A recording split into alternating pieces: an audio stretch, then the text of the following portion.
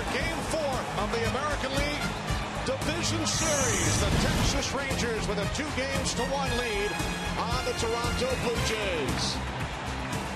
And a good afternoon, everybody. Kenny Albert along with Harold Reynolds, Tom Verducci, and Ken Rosenthal wishing all of you happy Columbus Day in the United States, happy Thanksgiving Day in Canada. In the other ALDS, Game 4, Houston Astros with a 6-2 lead on the Kansas City Royals in the seventh inning. Astros looking to advance to the ALCS. Rangers can do the same with a victory today. And the big news just over an hour ago, it was announced that Adrian Beltre, who has not played since the third inning of game one in Toronto, will be in the lineup for the Texas Rangers. Harold, he was not in the original starting lineup, but Beltre is good to go. And what does he mean to this Texas Rangers ball club? Well, he means a lot, you know, not only emotionally, but the fact of the matter is, in the middle of that lineup, it has been struggling without him. He's hit third and fourth all year with him, Prince Fielder, and with Beltre now, that gets them back to where they feel comfortable in their lineup and able to affect things. Look, here's how he got hurt. If you weren't watching, to remind you, he jammed his back on that slide right there, took this swing, drove in a run, fought to get down to first base, fought to try to stay in the game. That was the last time we watched him on the field. How's it important and why is it important? Here's what's been the middle of the order. That's two, three, and four. All these guys have been affected by the fact that Beltre has not been in the lineup. And you can see how it's affected their offense has not been very good right now. So that's a huge jump start, a huge message for this club. Only five hits the entire game for the Rangers in their game three loss last night, Tom. And today in game four, Texas will face a former Ranger, the 40-year-old knuckleballer R.A. Dickey, who will make his first career postseason start. What a story, R.A. Dickey. No one has waited longer for their postseason start. He turns 41 in two weeks. But it's not just about the length of the journey.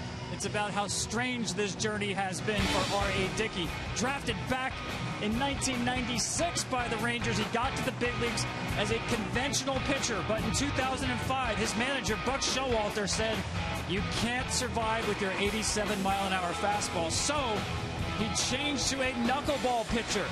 And ever since then, he has been waiting for this moment to start a postseason game. And now that it's here, can you believe it? It happens right here in Arlington. R.A. Dickey has called it poetic. He has called it a neat narrative. He is a man of words, but today he needs to be a man of the pitch that saved his career, the knuckleball. Well, he'll try and save the Blue Jays season today. Toronto trails the series two games to one. Game four coming up. The Blue Jays, the American League Eastern Division champs, lost the first last night to stay alive.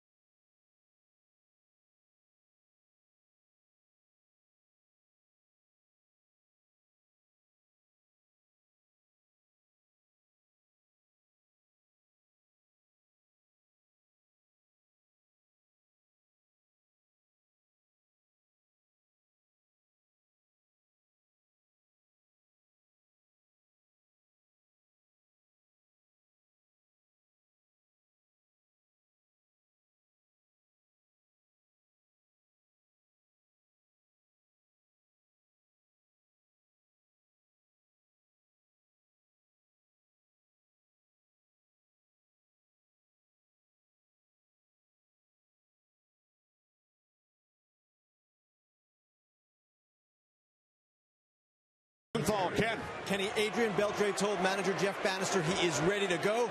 Banister said he trusts Beltre, that Beltre has earned that trust. And GM Jon Daniels had perhaps the definitive word saying, What are you going to tell Willis Reed? That he can't go? That's a good one.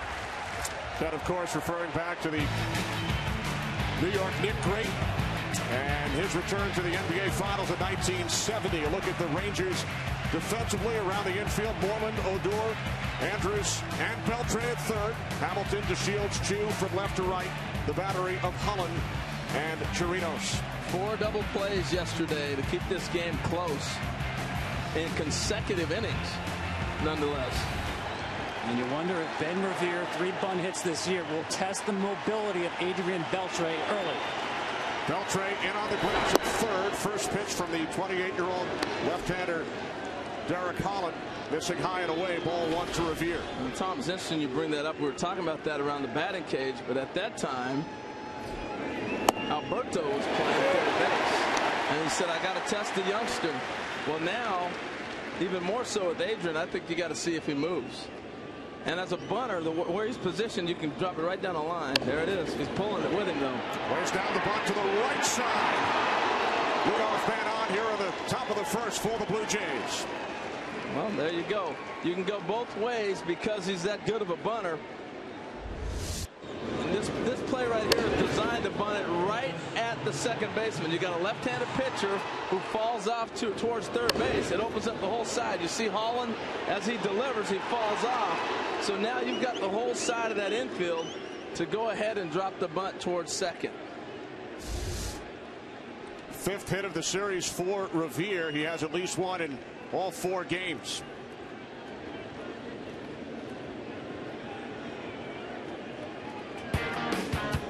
Josh Donaldson steps in. He'll be followed by Jose Bautista, Edwin Encarnacion in the cleanup spot, then Chris Colabello, Troy Tulowitzki, last night's hero bat sixth.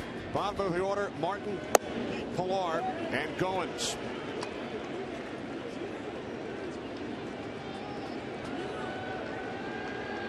Donaldson a home run in game two, two hits last night.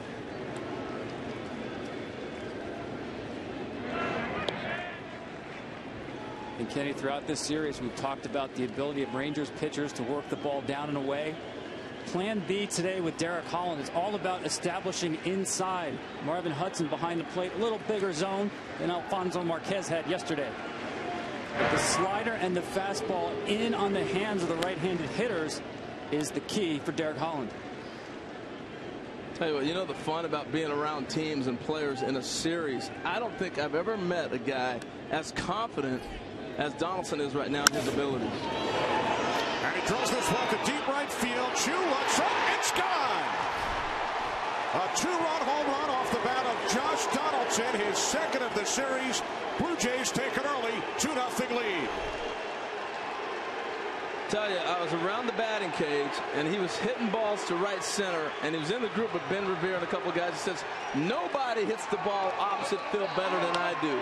Nobody. I can drive it out of the ballpark. Just the confidence that oozes off of this guy when you're around him. Whether he's talking about Auburn football where he went to college or whether it's talking about facing the, today's starter, he's as confident as anybody. We're looking at a club right now, Tom's on fire. This is the game they play. Really began, jump started with Tulowitzki's three-run homer last night. The home run ball. Bautista takes ball one inside. So after five pitches, the Blue Jays take a 2-0 lead.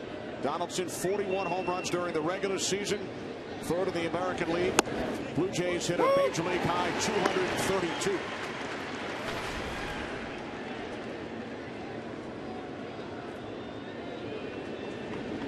Bautista three for 13 in the series.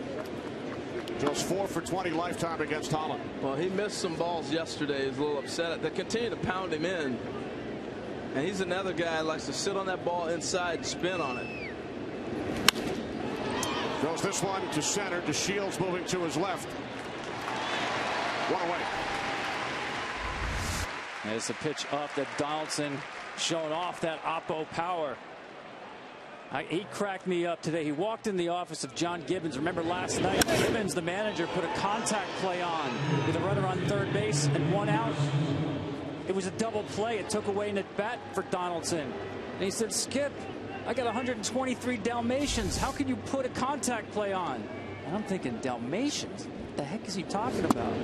RBIs. Once you get to 101, you can call your RBIs Dalmatians. 101 Dalmatians.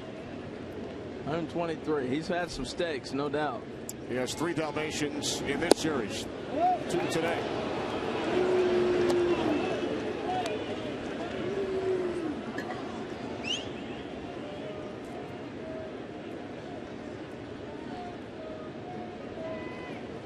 A 1-1 to Encarnacion, fouled off to the right side, one and two. For coverage of today's game in Spanish, please tune in to Fox Deportes.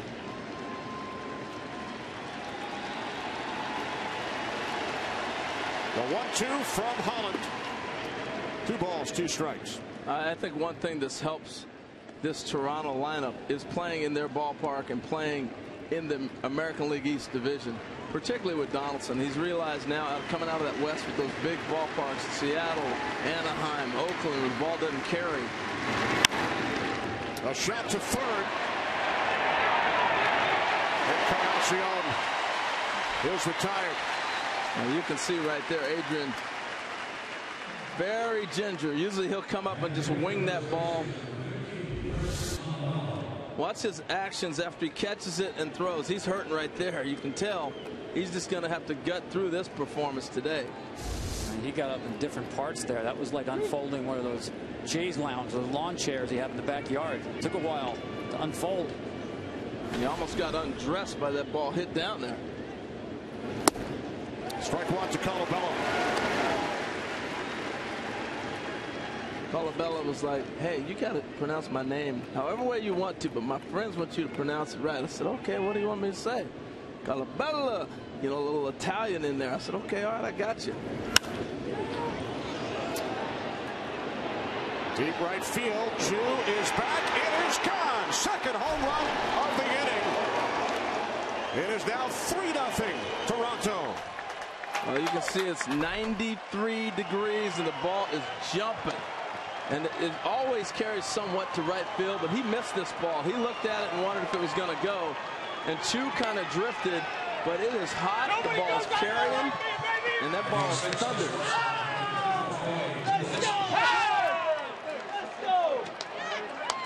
You can hear Donaldson down there yelling, nobody goes to right better than me, baby. They have a game plan. They're going to take Holland the opposite way. That's been their plan. Bautista hit one kind of right center. Those two balls right field for homer. So two first inning home runs off Derek Holland. First Donaldson and then Colabello. Tulowitzki at the plate. He hit the three-run shot in the sixth inning to break the game open last night. Grounds out to the shortstop Andrus. Before the Rangers come to bat, they trail by three. First Donaldson and then the two-out solo shot off the bat of Chris Colabello. 3-0 Blue Jays in game four.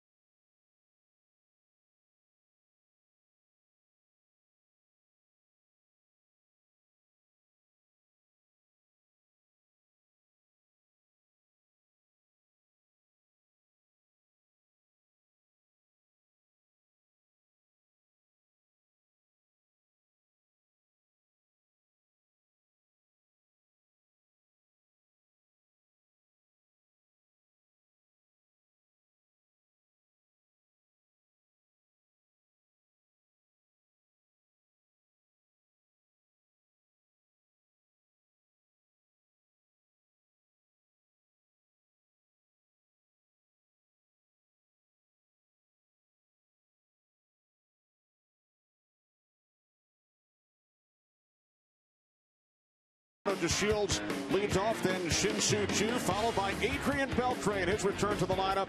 Fielder, Moreland, Andrus, middle of the order, Hamilton, Odor, Chirinos. DeShields takes a called strike. He has six of the 21 Texas Rangers hits in this series. And this is a new experience. He has never faced a knuckleball pitcher before. So how do the Rangers prepare for R.A. Dickey? Down in the batting cage underneath the stands, they have a pitching machine. They set the dial to knuckleballs.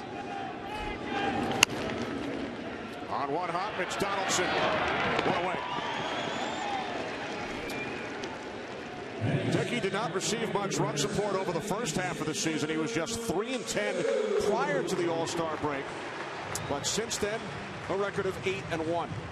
He does a great job changing speeds on that knuckleball. He throws one that's really firm, likes to keep that high in the zone. It's all about movement.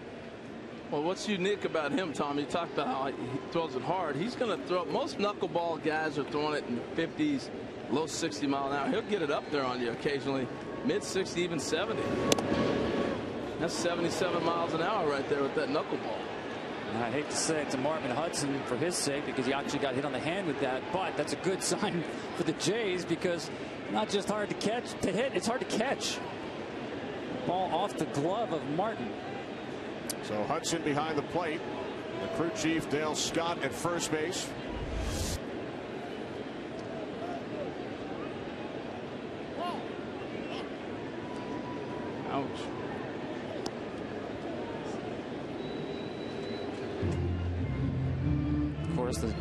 Pitcher wants as little rotation on the baseball as possible.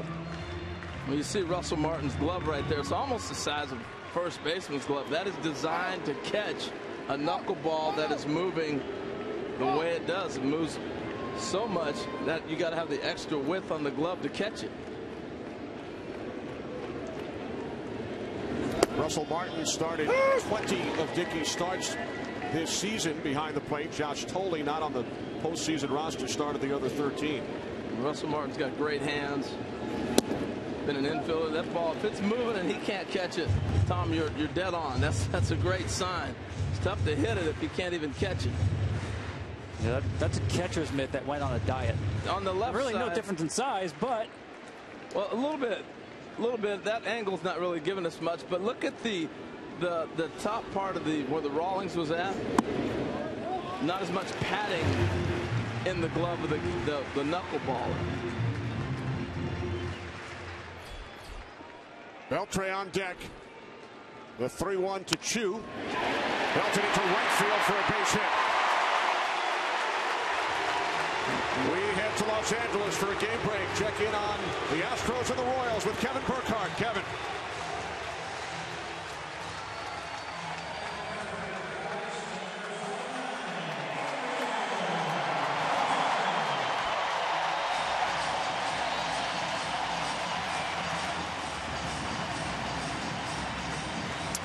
Eighth inning in Houston. Thanks, Kevin.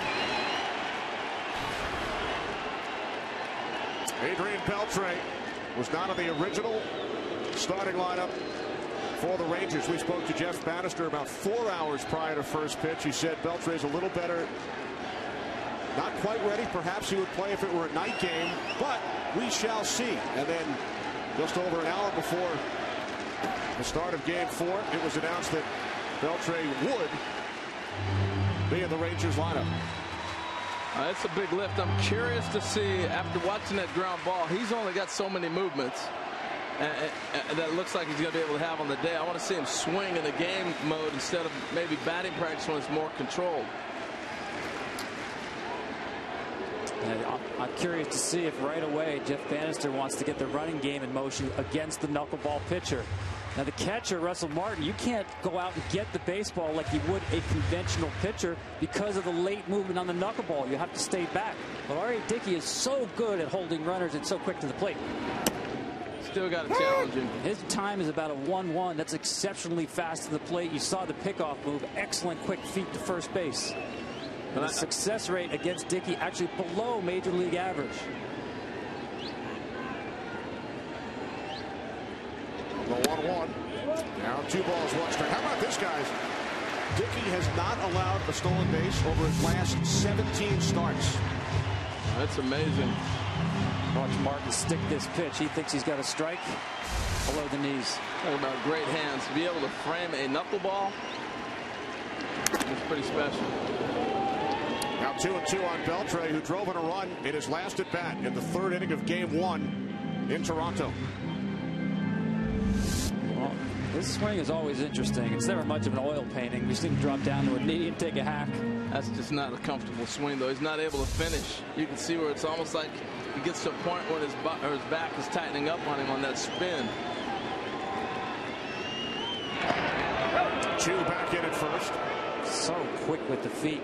Well, the one thing about most knuckleballers, and RA falls in this category with Hough and everybody else, they have a tendency to balk, to jump and come across. RA's got great footwork, as you see there, most pitchers, when they're come right-handed pitchers, pitchers in particular, when their hands are still moving, are when they're going to be the fastest. I think with the knuckleball, I, you're only going on the fact that Russell Martin's not going to be able to stay back and catch it. You just got to go. Right center. Coming out is Bautista. He dives and he cannot make the play.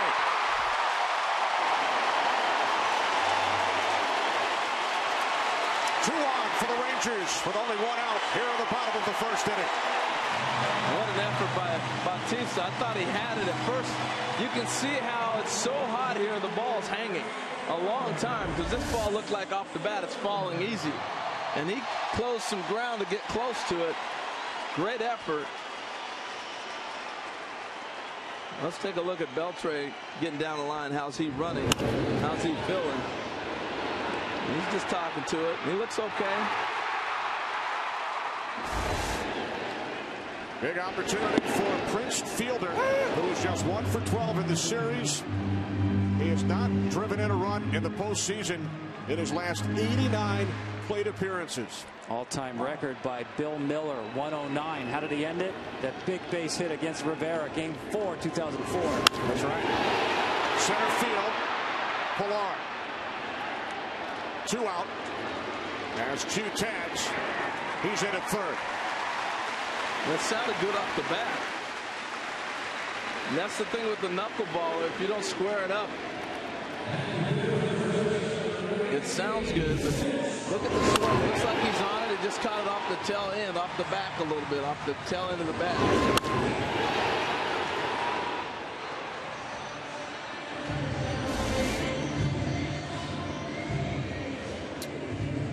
Dickey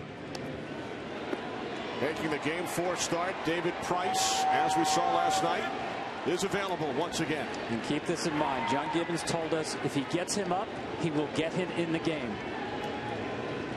And they feel like he can go four or five innings today, if need be. Now he's in standby mode right now. He hasn't thrown a pitch out in that bullpen yet. He's just waiting on the word. Getting loose, though. They don't have a whole lot of rope today.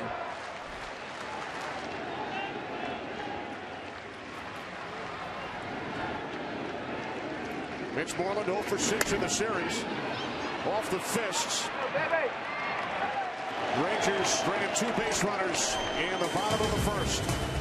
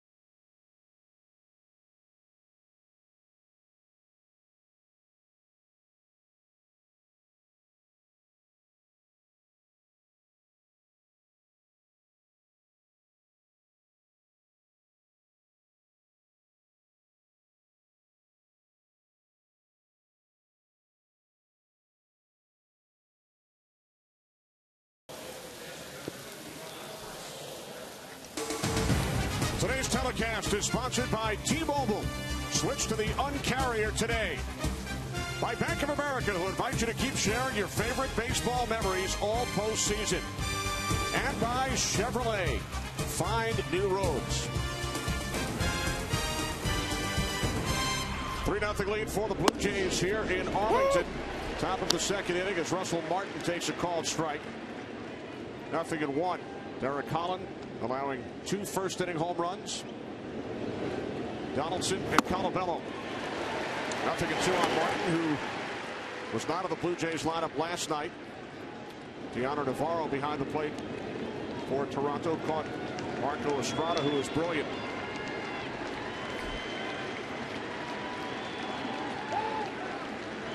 Yeah, Estrada was great last night. Just I was so impressed with the fastball changeup combination. And the more we watch games, the more guys are throwing changeup.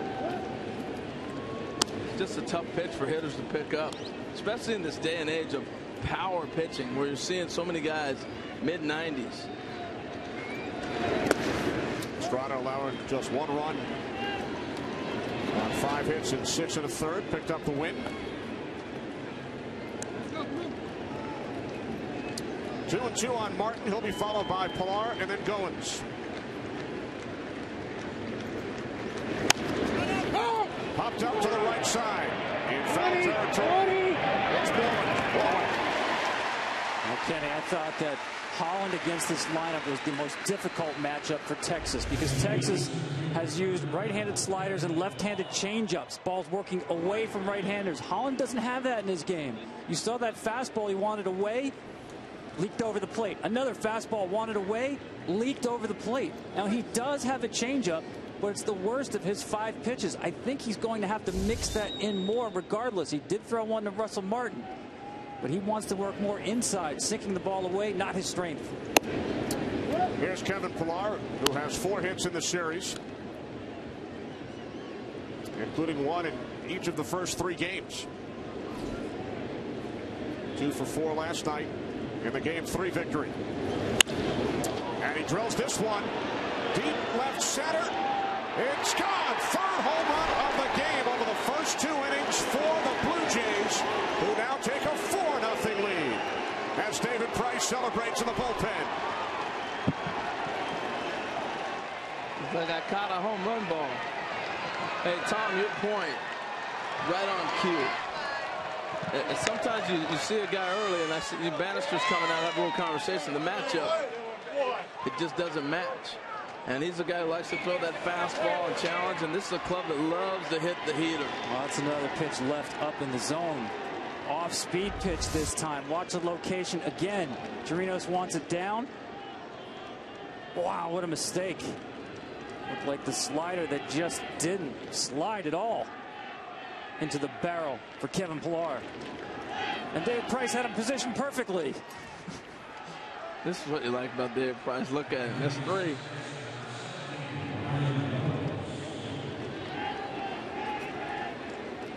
Well, let's not forget, too, Derek Holland working on 10 days of rest.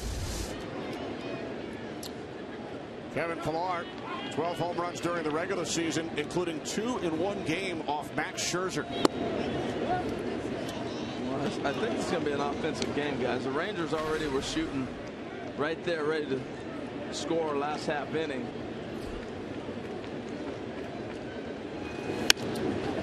Goins 0 for 10 in the series, now 0 for 11. So two outs, top of the second inning. Well, remember the other day, Texas's big rally started with a hit and run. Today, the offense for Toronto started with a bunt base hit by Ben Revere. You get Holland off the mound, you get him in the stretch, and boom, Donaldson with the home run. Derek Holland making his fifth career postseason start for the Rangers. Texas has won each of the previous four. His last postseason start, game four of the 2011 World Series, a win over the Cardinals. But a different story today as he has allowed three home runs over the first two innings.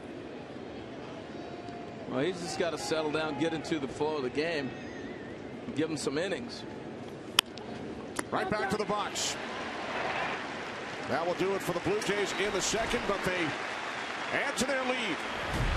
First career postseason home run for the number eight hitter, Kevin Pillar. Blue Jays lead by four. Middle of the second.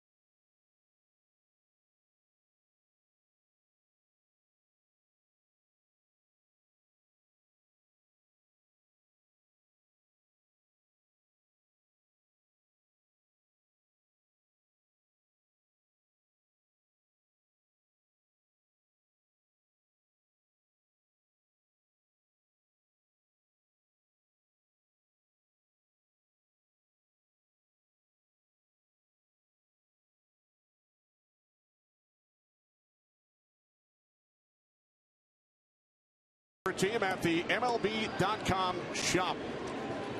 Kenny Albert, Harold Reynolds, Tom Verducci, Ken Rosenthal in Arlington. Game four. Road team has won each of the first three. And the road team out to a 4 0 lead today as Elvis Andrus takes a called strike. R.A. Dickey making his first career postseason start. Spent 10 years in the Texas organization. He made his major league debut in this ballpark in 2001. Picked up his first major league win in this ballpark in 2003 and made his first major league start in this ballpark later that year. Yeah, he was a big draft pick for the Rangers. What, was that? He had a, a ligament damage in his arm? He did as a number one draft pick. First round pick back in 96. First strikeout for Dickey. As we head to Los Angeles for another game break. Wild eighth inning, Kevin Burkhardt.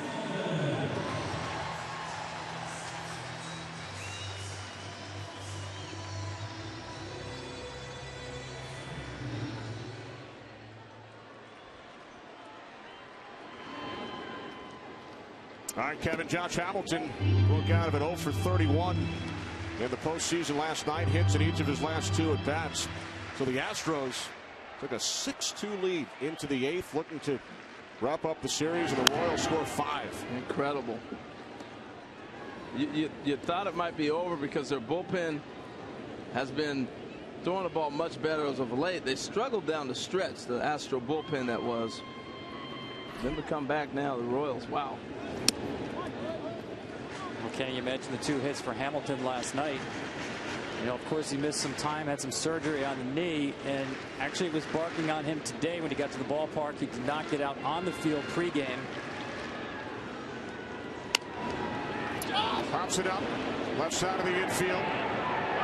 Two out. When you get behind against a knuckleballer, it becomes a little more frustrating for you as a hitter. Because you can normally wait them out. They're going to maybe walk guys, force them to have to really work on their control. But the further they get out in front, and the more they make you have to swing the bat as a team to get back in it to take away the running game when you're down 4 uh, You know, a lot of things start to happen as that lead increases. It becomes better for the knuckleball pitcher. Strike one to Rougned Odor, who has scored five runs in the series. And RA's got a great knuckleball working today. Ball's dancing. He's not only a knuckleballer, but a knuckleballer who won a Cy Young Award just three years ago. Yes, the Mets. It's a big trade Blue Jays made. This whole thing started really when you go back and you look at the R.A. Dickey trade and the, the Florida Marlins deal they made. He's got it working today, folks.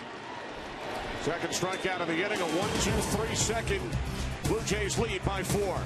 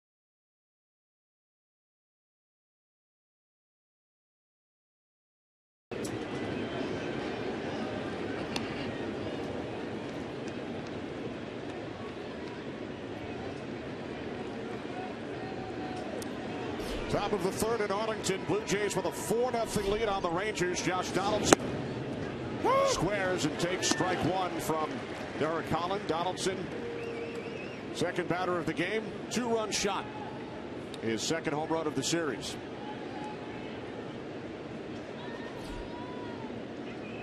Donaldson, Bautista, and Encarnacion for Toronto here in the third.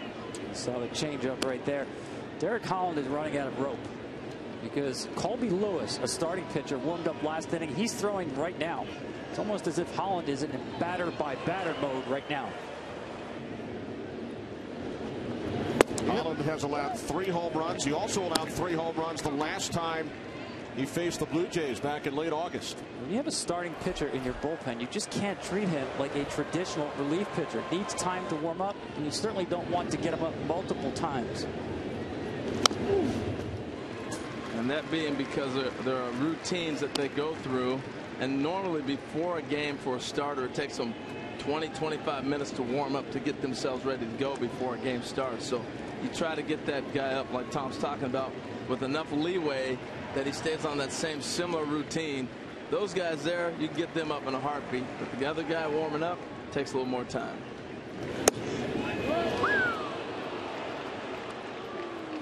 Wanted that one.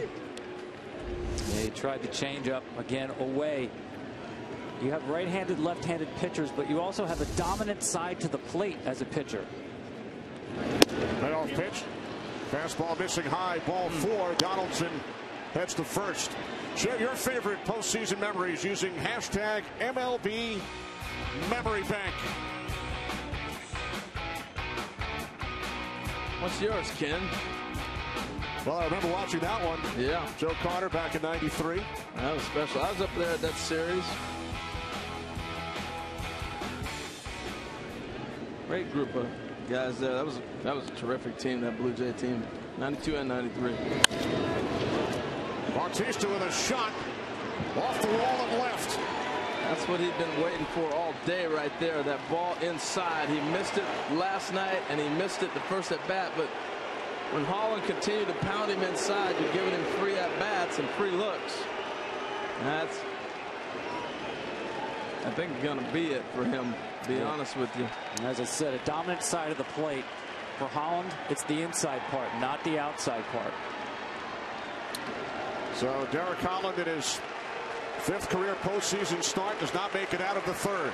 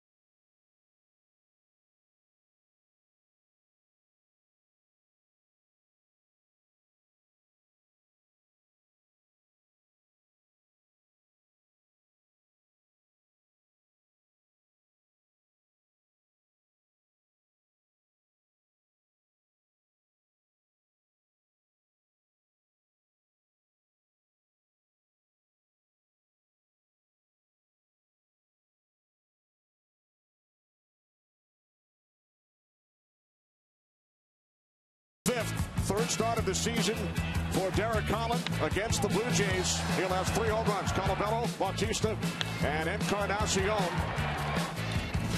Fast forward less than two months later, game four today. Three home runs. Donaldson, Colabello, and Pillar.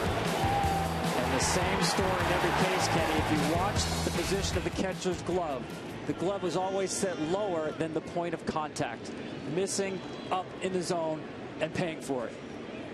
So here's Colby Lewis, who made 33 starts this season, led the Rangers in wins with 17. It's his fifth year with Texas.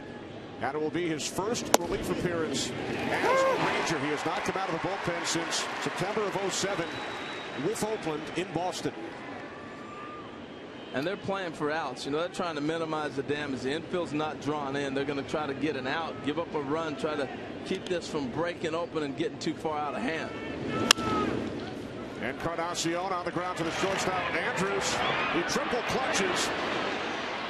That was a big play right there by Elvis Andrus. He applies the tag on Bautista. That's a great After play. Donaldson scores, it's now 5 0 Toronto. You know, that, that, that, that's you're giving up the run and you want to take an out. And you're going to leave Bautista at second, no problem, and, and they're going to have a chance to drive in another run. This is a big out. Nice backhand play, but watch him look to catch the runner. He knows he's got a long throw, but out of the peripheral vision, out of the corner of his eye, he was able to catch Bautista getting ready to go to third base and got the out. That's a huge out in keeping this inning manageable. Now you get a double play ball, you got a chance to get out of the inning. They deked him. Bautista had visions of crossing over to third if a long throw made to first. Never left his hand. I think he came up with full intent to go to first. And as he's coming up, he was able to spot Bautista. He's going to throw Encarnacion out from deep in the hole right there. There's no doubt about it.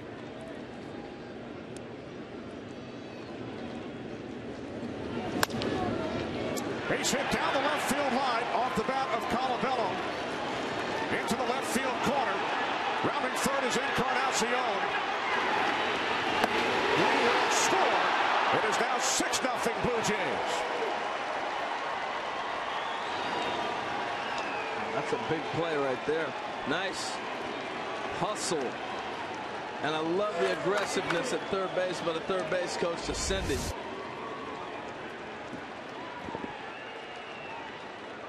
Down the line, in the corner, fair. They were kind of trying to play him off the line a little bit in the outfield. It's one thing in the infield. In the outfield, they're playing him a little bit more toward left center. That's why it took a minute for Hamilton to get over there. The ball's in front of you, and Encarnacion turned it on the whole way around. He's all over the plate. Wake up the Jays, man. This offense is clicking. Tulowitzki takes ball one. So the Blue Jays, who led baseball in runs and home runs during the regular season, they scored only 12 runs over the first three games in this series. They have exploded for six over the first three innings. Well, you could see the offense coming last night. Remember, they hit into four consecutive double plays in innings. Four innings in consecutive double plays that kind of snuffed out their rallies. So the offense was there. They're swinging the bats. Today, they're putting it all together.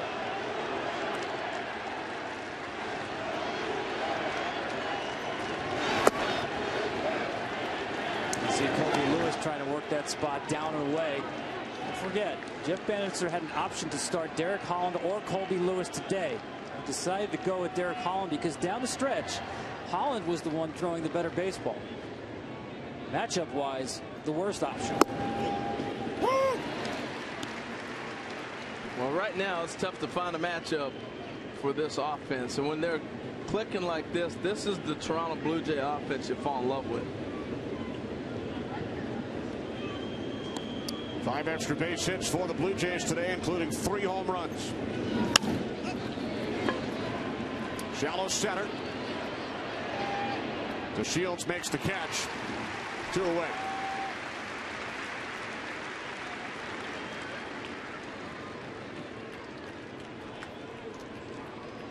It's a funny game.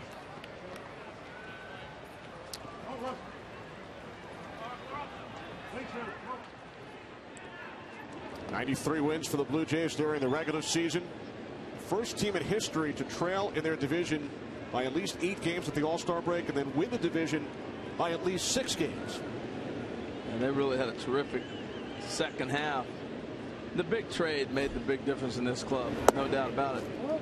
With the attitude, you got David Price, you pick up Tula Tulowitzki, it just changed everything. And when your front office goes out and does a big move like that, you feel like, all right, this is our chance to really make a run. It was a good club, now it became a great club. First trip to the postseason since 93. And last night, the Blue Jays won for the first time in franchise history in the postseason when facing elimination. They passed the Yankees like the Yankees were standing still.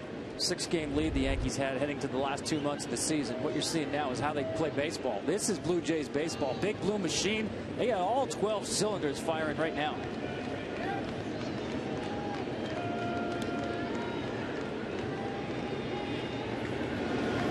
To Martin, missing high and away, ball two.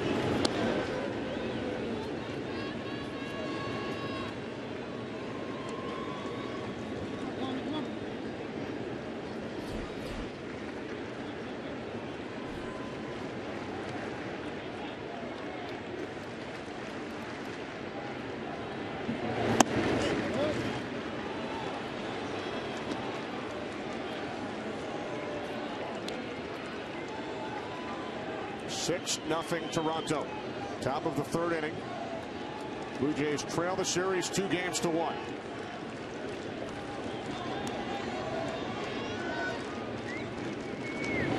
The three one in for a called strike.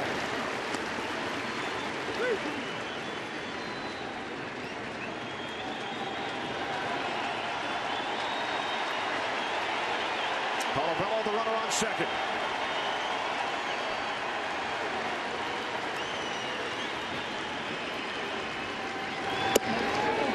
Ball four to Martin.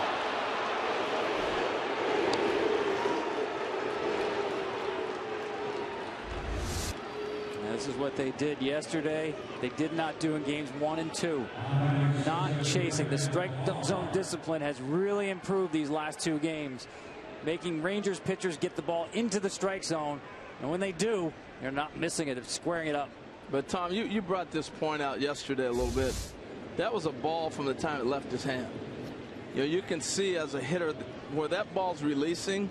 That's why you're not biting. The different the difference that I've seen is most of the balls that were they were swinging at look like they might be strikes, and then they're leaving the zone. Whether it was a cutter or whether it was a slider or whatever it might be, that fastball right there from Colby Lewis was outside and never came back.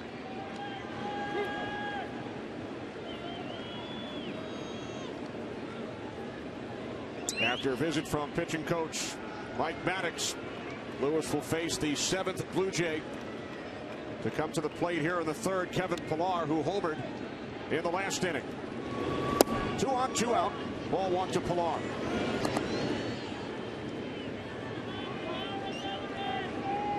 Pillar now with a 14 game hitting streak dating back to the regular season. Final 10 regular season games, a hit in every game of this series.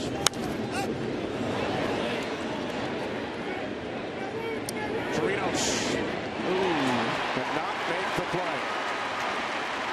And when you're facing a hitter that's hot, like Pillar, you got to come down with it. There's a few things he's contending with. Look at all the stuff on the batter circle right there he's he's stepping on on the on deck circle. You've got a rosin bag, you've got bat laying there, you've got all this, the, the sleeves that go on the bat. Everything there. Look at all these things he's got to contend with as he's coming over here. And he slipped on that bat right there. That kind of threw him off a tad bit. He got through that obstacle course, but just didn't get all the way over to the wall.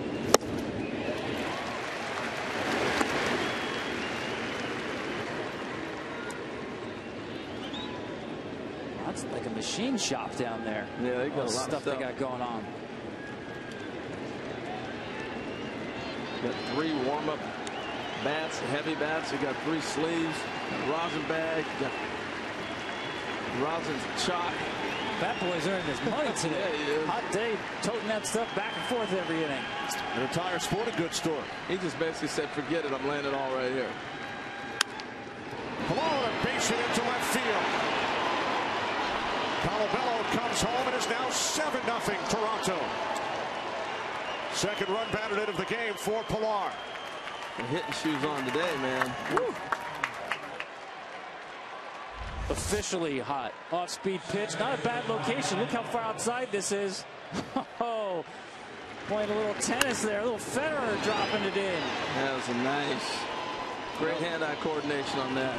Maddux went out to the mound there to set Colby Lewis down. Left unsaid. don't look over your shoulder, buddy. There is nobody throwing in the bullpen. We need you to give us some length. And you look at Pillar right there. You know, yesterday I talked about Rougned Odor, and you watch players over a, a, series like this where it's high intensity and you see what they, they're made of. Pillar stepped up and shown all the things he can do. Great catches, big base hits. We saw a home run. He's really shining on the spot right now. Two hits, two runs batted in today for Pillar. Ryan Goins popped to the shortstop Andrus, His first time up. Sends this one to deep center field. DeShields back. And he makes the catch on the warning track to end the inning. But the Blue Jays extend their lead. They chase Ranger starter Derek Collins. Three home runs. Donaldson, Colabello, and Pillar. 7-0 Blue Jays, middle of the third.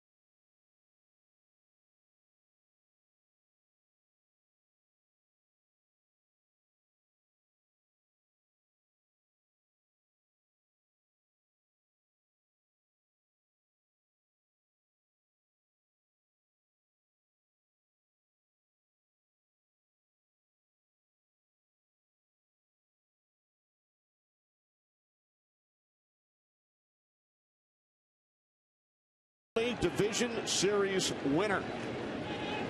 Give you a couple of minutes to think about it. As Robinson Chirinos leads off for the Rangers. He's batting for the first time, and his team is already trailing by seven. Wow. Chirinos one for seven in the series. As Dickey misses low and away, one and one. Think about how quickly things change. Bottom of the first inning after three batters. David Price is up in the bullpen for Toronto. Alarms, sirens, whistles going off just in case. We sit here with R.A. Dickey in command with a seven-run lead. Now, we mentioned early in the season, Tom, Dickey played by a lack of run support. Certainly not the case today. Right center off the bat of Chirinos. And the catch is made by the right fielder, Bautista, for out number one as we check in on the other American League Division Series with Kevin.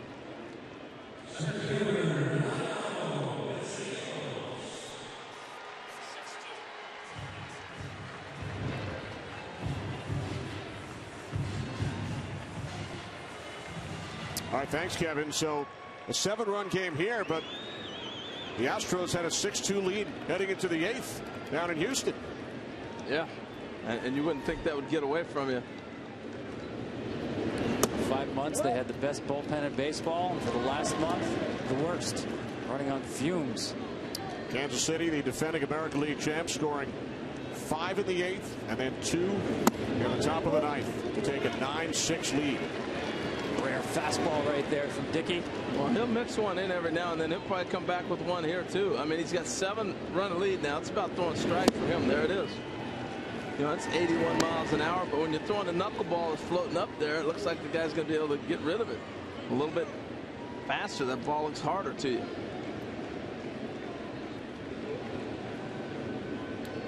Now the 2 1 2 DeShields and grounded to third his first time up. Try to sneak another one by him.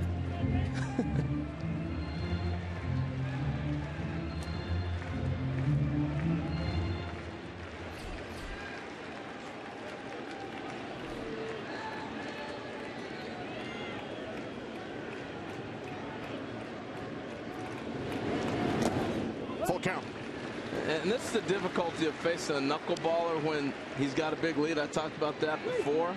But now there's no threat to run. He can bust off his nasty knuckleball that he wants to throw. On the ground to the shortstop, Tulowitzki for out number two. We take you back to 1996. R.A. Dickey, second from the left on the cover of Baseball America, drafted in the first round by the Texas Rangers, represented the United States in the 96 Olympics, won a bronze medal in Atlanta. 16 and 19 record with the Rangers, won the National League Cy Young with the Mets, and then that seven player deal. I think it worked out for both squads, guys. Noah Syndergaard and Travis d'Arnaud, two pretty important cogs for the New York Mets going the other way. Yeah, it, it's worked out. And I think the big thing for R.A. Dickey is that Blue Jays have to go a long ways in the postseason for that to look good on their side. The Mets' is future, and they're there right now. But Tom, you want to well, talk he's about on, he's on the cover here. This is him. But the Rangers doctor looked at the shape of his arm, the angle of that elbow, and said, "There's something not right there." You saying on that Sits photo? in right field. Yeah, I mean, who needs an X-ray, right? They could tell on the picture, the still picture on the cover, the angle of the bent elbow that something wasn't right. And sure enough, he did have an elbow ligament issue and lost a big chunk of his signing bonus. So he got busted because he was on the cover of this thing. So this long road of R.A. Dickey to get to this first postseason start has been a rocky one. Twists and turns everywhere. Hey, Doc, you see that R.A. Dickey kid? We're going to draft him. Oh, yeah, I saw him on the cover. Arm doesn't look right. What? Crazy. Beltre batting for the second time, single back in the first inning. And then 10 years after he's drafted, in April of 2006, Dickey makes his last start for the Rangers in a game against the Tigers. He allows six home runs in three in the third, and that's it. Does not pitch in the major leagues again for two years. Wow. I like the description of the knuckleball. It's a pitch born of desperation. Tim Wakefield was a failed infielder. Charlie Hough hurt his shoulder. Tim Wakefield, who was a roommate back in the early 90s in the Pirates system with Rangers manager Jeff Banister. And we had an interesting conversation with Jeff earlier today about his time spent with the knuckleball knuckleballer Wakefield. Yeah, it was pretty cool. Fact that they were roommates and and he basically said, and when, he, and when Wakefield got sent to double A ball, he was coaching him and said, hey, until you can make me miss the ball catching it, you're not, I can't recommend you to go back. And you see the field right there. Look at that. You see the shadows are cre creeping in too. That becomes even more of a challenge for the Texas Rangers to me. With a fastball, I can know where it's going to stay in the zone. A knuckleball, I don't know where it's going. And now you throw a shadow in there. Good luck.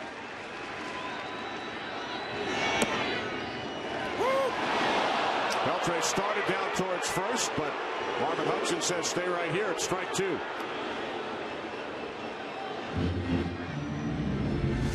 That's a pitch that's not easy to catch or call. Umpire really has to stay on the pitch. Such late movement. And a nice job by Russell Martin to frame it. Well, the deception is the catcher's framework really doesn't matter with a knuckleball. It is where it goes over the plate to that arm. Choo on the move, and Beltre with his second hit of the day. Choo in its third. Rangers with runners on the corners and two outs here in the bottom of the third inning. And the biggest story for me was Adrian Beltre. Even on the pitch he took, he didn't look right. So, yeah, he got a base hit, and now the first and third as he drives this ball through. Good effort by Tulo, but watch out Adrian on the finish here. I mean, he, we're seeing the same signs we saw out of the game the other day. Look, this is going to be a challenge for them moving forward. You're down seven runs in the third. Do you continue to jeopardize possibly him not playing game five if it goes there? Trusting a veteran player to know not only his body, but how to play with a compromised body, essentially playing at about 60%. Prince Fielder flies to center his first time up. How about the fact that Beltre, who is in obvious pain, is now three for three at the plate in the series. How about that? He's getting it done. Here's a chance for Prince to drive in a run. He hasn't done that. We were talking about that last time. But He's now gone 90 postseason plate appearances without driving in a run. And guys, I'm watching Adrian Beltre. I got to take him out of the game. I, I, he just he can't move. When he tries to jump off and do his secondary movements, it is a struggle. Tom, I know you, you said, hey, and they've said it to us, you got to trust that player, but sometimes you got to step in for the player, too. It's worth repeating. Jeff Banister calls him the toughest player I've ever been around. Pitch gets away from Martin. Beltre hobbles to second. Two scores. Rangers with their first run of the game. It's now 7-1.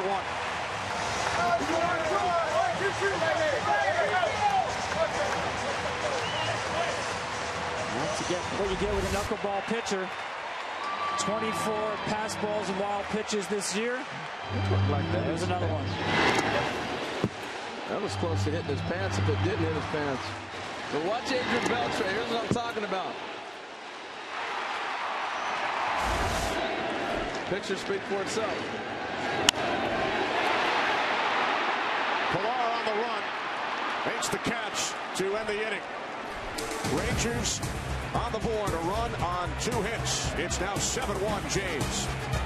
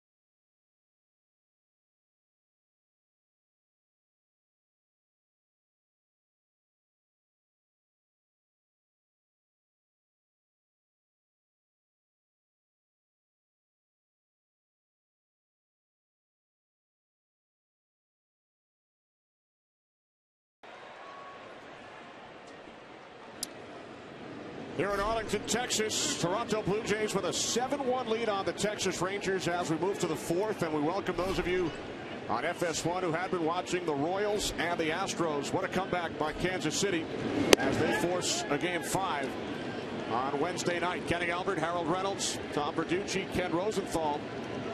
The Toronto Blue Jays lost the first two games of this series at home. A 5-1 victory for the Jays last night. And they hit three home runs over the first two innings today. Took a 7 0 lead.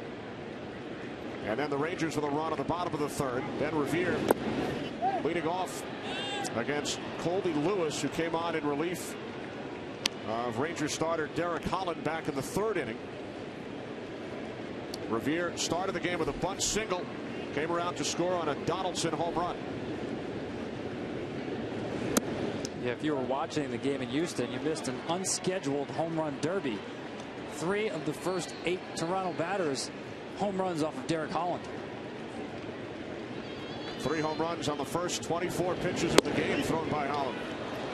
As Revere draws a leadoff walk, our game summary is sponsored by Budweiser. A lot to talk about.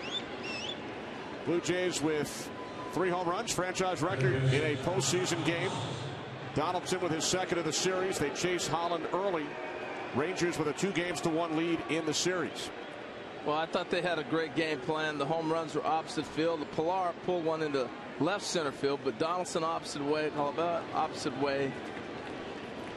And they just really came with a great game plan on Holland and took him out of the game early. Beltre, the second. And now on the first, but Moreland pulled off the bag. Uh, they might see a replay on that one there. So Adrian Beltre, in case you joined us later, we're watching the Astros and the Royals not scheduled to start for the Rangers today about an hour before the game to switch and he's having a tough time moving around but he does have two base hits and we just saw him make that play at third. Yeah you can clearly see that that he is not moving as fluid as he'd like to and uh, so therefore he's struggling with the throw and he's swinging the bat, running the bases. He's out playing. It's inspirational, Tom, but he's not moving very well. It is, and we talk about when to go get a pitcher. In this case, we'll be talking about when to go get a third baseman who's obviously compromised with that back. Obviously score dependent, but if we do get to a game five, you want to make sure Beltre is back in the lineup. Well, there's the out with Odor. He caught the ball. Now he goes to transfer to make the throw. It's when he dropped it. So it was clearly a catch. That's why there's force at second base when many have thought it was a drop, but he went to transfer to make the throw to first on the double play. But that was a Beltre throw that took him off the line. You usually don't see that. That's a double play ball, and that's all I think because of the injury. He's not able to, to handle the, the glove and the ball the way he normally would. Left center. Catch is made by DeShields for out number two.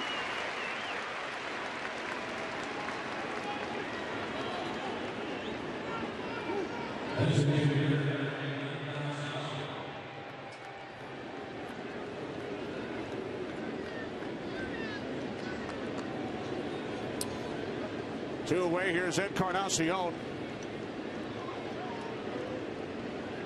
With Donaldson, the runner on first. Encarnacion drove it a run back in the third inning on a fielder's choice. And he takes strike one from Colby Lewis.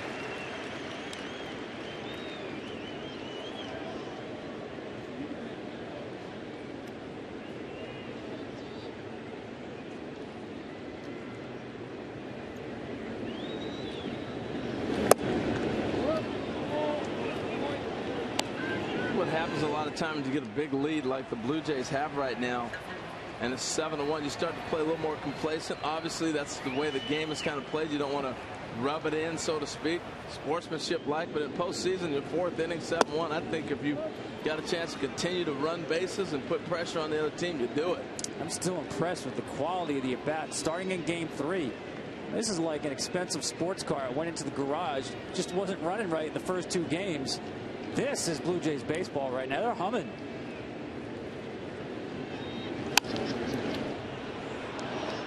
And Harold, with regard to what you just mentioned, keep in mind the Astros had a four-run lead in the eighth inning at home today. Yeah, I mean it's not over, and and postseason is not a regular 162 game schedule. the old book, so to speak, gets thrown out. You just got to continue. You got to bury a team. You got to put them away when you got a chance to do it.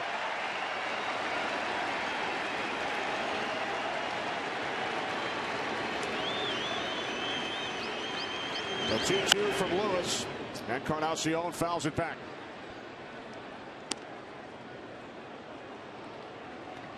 Seven runs on seven hits for the Blue Jays. Colabello on deck. He took Derek Holland deep back in the first inning. One of three Toronto home runs. Donaldson and Pillar with the others.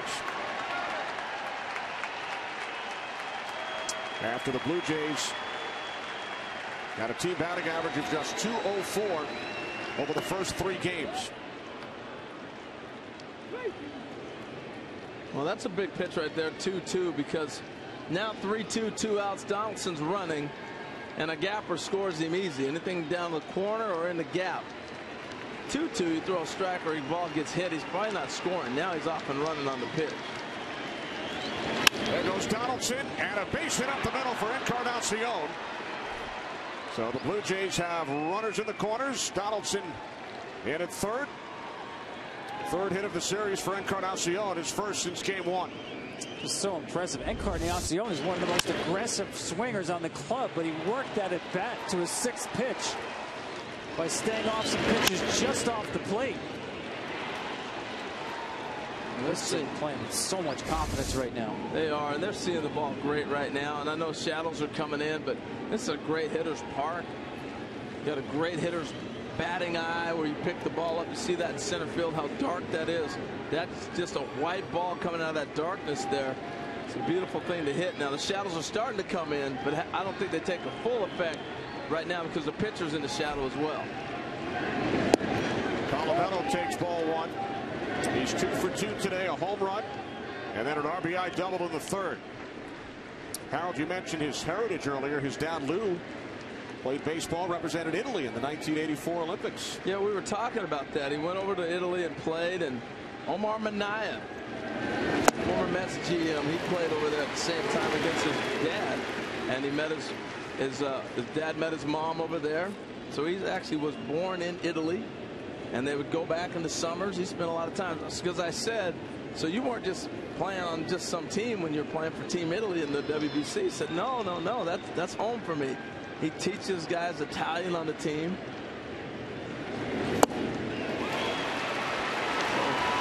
He's got the genes, he's got the blood, he's the real deal. The Italian stallion. This ain't no movie. Got a tremendous story. Spent a number of years playing in the independent leagues. Yes.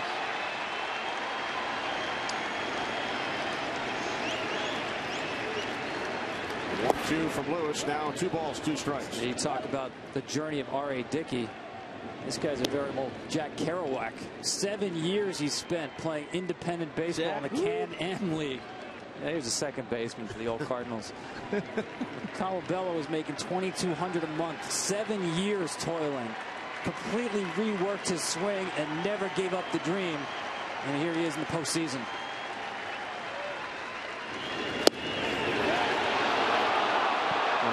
Jack never did that. Have written about it.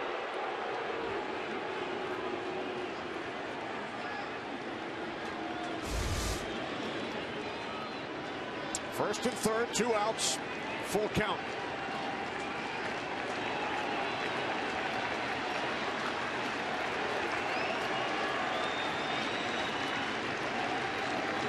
Playoff pitch from Lewis. Swing and a miss. Strike three. Inning comes to an end. Thanks to who've been watching on MLB Network. Switch over to FS1 for the remainder of Game 4.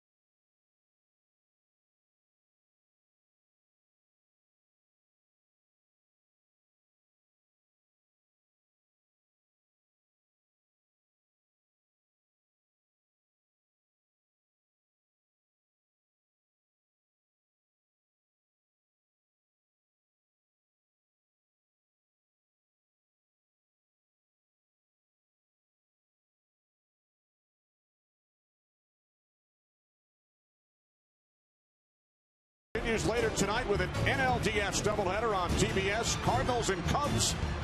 And then Dodgers and Mets. Game three of both series. Each tied one game apiece. Boy, Tom, I can't remember a time where we've had so many storylines in each one of these playoff games. Great matchups, great baseball, and road teams got off to an incredible start in these postseason games. Road teams winning both wild card games. Road team has won all three games of this series. I want to see Jake Arrieta tonight. I want to see Citi Field. Matt Harvey on the mound for the Mets.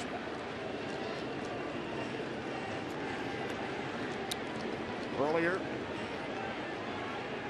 one of the biggest late inning comebacks in postseason history by the Kansas City Royals. Well, they needed a big inning, too. They've been struggling this whole series, kind of churning their way through to try to knock the Astros off. That's a big win to send it back, not only to tie it and not be over, but for their offense to get something going and now have the game five at home. That was big for the Royals. Facing elimination on the road. What a tough-minded bunch. You saw that starting with the wild card game against Oakland last year against Jon Lester. Seventh inning. Moreland fouls it back. I find it amusing looking at the game here. Even with R.A. Dickey throwing and a knuckleball, and you don't know where it's necessarily going to go if a guy's going to square it up, they still put the shift on. You, still got second baseman out in right field. The third baseman's moved over to shortstop. and Moreland down on strikes. We spoke between innings with Blue Jays skipper John Gibbons. We asked John if today's performance resembles what he was used to watching from his Jays during the regular season.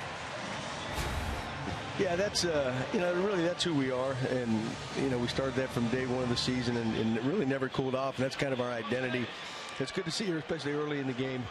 You know, give us a little breathing room here, and I think Dickey's throwing well. You know, we just got to keep an eye and make sure we don't get too many guys, you know, too much traffic on base. And we're trying to find that perfect time, maybe where you go to Price or somebody else. So, John, we saw David Price get up in the first inning in standby mode. How close were you to pulling the trigger? No, what he was doing there, I mean, he was up on his own, just kind of, you know, getting a little feel, getting loose a little bit. Yeah, we we, we looked down there ourselves. Said, what, did anybody call him? You know, but that's kind of his routine coming out of the bullpen to, you know, stay ready just in case. Hey, John, being around this club, they were so loose today. They were talking about their haircuts and everything else. Uh, it's got to be a fun bunch. Yeah, Harold, it, it really is. There's, you know, I've been saying all year, there's something different about this club. And, you know, I've been on many different clubs, managed and played, and some really good ones, some bad ones. And, but there's just something different about this group. And, and they show up to play every day, and they, they, they, don't, they don't get rattled. And, uh, have a ton of confidence. So hopefully we can close this one out somehow today, and then uh, maybe hopefully move on. Thanks, John. Good luck. Okay, guys. John Gibbons, his only prior postseason experience in the major leagues, 1986. He was the bullpen catcher for the world champion Mets as Hamilton grounds out a 1 2 3 fourth for R.A. Dickey.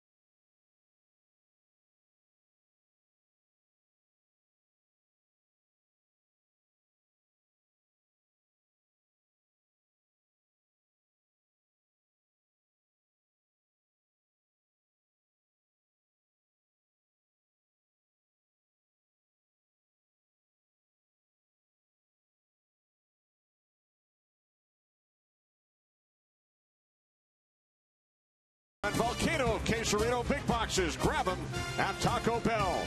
By DirecTV, call 1-800-DirecTV. And by Esurance, official sponsor of Major League Baseball.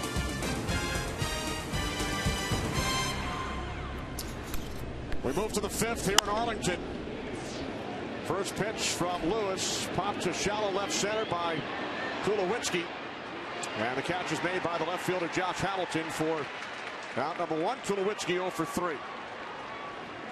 You know, Kenny, we heard John Gibbons talk about there's something different about this team. He made no bones about it when I talked to him that last year that was a fractured clubhouse. And he said things began to change in spring training when two guys, two new guys showed up. Josh Donaldson, the guy in the batter's box right now, Russell Martin. Just complete grinders and gamers. I think they set the tone in spring training with this team. It took a while to kick in. The last two months of the season is when they hit their stride. The impact, not just the talent of those two guys, but the leadership qualities of Donaldson and Martin have carried this team a long way. Martin walked his last time up. Oh. Will head down to first after taking that pitch from Lewis. And for more on the leadership of Russell Martin and what he has meant to the Blue Jays this season downstairs to Ken. Well, guys, one thing that impressed the Jays an awful lot was Martin's willingness and ability to learn how to catch R.A. Dickey. Dioner Navarro, the backup catcher, doesn't catch Dickey. So for most of the season, Martin was the primary guy, and we've talked about this. It's not easy. It's a mental grind. It's a physical grind. The first time Martin worked with Dickey in spring training, his arm was burning after 30 pitches. He wasn't used to moving his glove so much. He had to learn to relax his arm, but as the season has progressed, he's had even better numbers with Dickey than his other catcher, Josh Thole. And Thole came over with Dickey from the Mets, so he had a lot more experience behind the plate with Dickey. Well, oh, what, what a luxury for the organization to not have to carry a guy because he can catch a bullpen. You know, and, and, a lot of times because he can catch a knuckleballer, I should say. A lot of times you have that because you have that one player, but also it speaks volumes to me about Russell Martin not worried about his personal statistics. You know, in this day and age where framing and we're judge catchers by so many other measurements, instead of that leadership, which really that catcher position, you are basically the captain of the infield. You're the lead. You're leading the team, and when you have a guy that can do all those things and those intangibles, that goes a long way for a team. Throw the numbers out. You're right about trying to catch a knuckleball pitcher. I'll go back to Jason Varitek trying to catch Tim Wakefield in a postseason game. He had not been used to it at all. I mean, he was running back to the screen so often. He was on a first name basis with the fans in the front row. Pillar, left field. Hamilton, two out. And Russell Martin, guys, spent the last two seasons in Pittsburgh. Who was the Pirates' bench coach? Jeff Banister, the Rangers manager. And we asked Banister prior to game one about his two years with Martin. Big smile came across his face when we mentioned Russell's name. He said he's off the charts, heart and soul guy, but he wants to beat you at all costs. Let me tell you, they put a lot on the plate of the catcher in Pittsburgh. Jeff Banister had a lot to do that, worked very closely with Russell Martin in all the analytics and game preparation. They met before game one. There was a real, real strong bond and big hug between the two of them. Ball one to Goins, who's a Texas native was born in Round Rock, which also happens to be where the Texas Rangers AAA affiliate is located. Went on to Dallas Baptist. Still looking for his first hit of the series. 0 for 2 today, 0 for 12 in the ALDS. Yeah, but he had a big at bat early in the series. I thought was very important to the Blue Jays. I know yesterday he hit into a double play, but I think he's going to come on and catch up with those talents. I, I, really like this kid. I mean, defensively, I still think he's one. He, he can move to shortstop right now and be mentioned in the top defenders in the league right now today. He certainly fits that bill at second base. You know, was talking to Omar Vizquel infield coach for the Tigers. Great gold glove shortstop.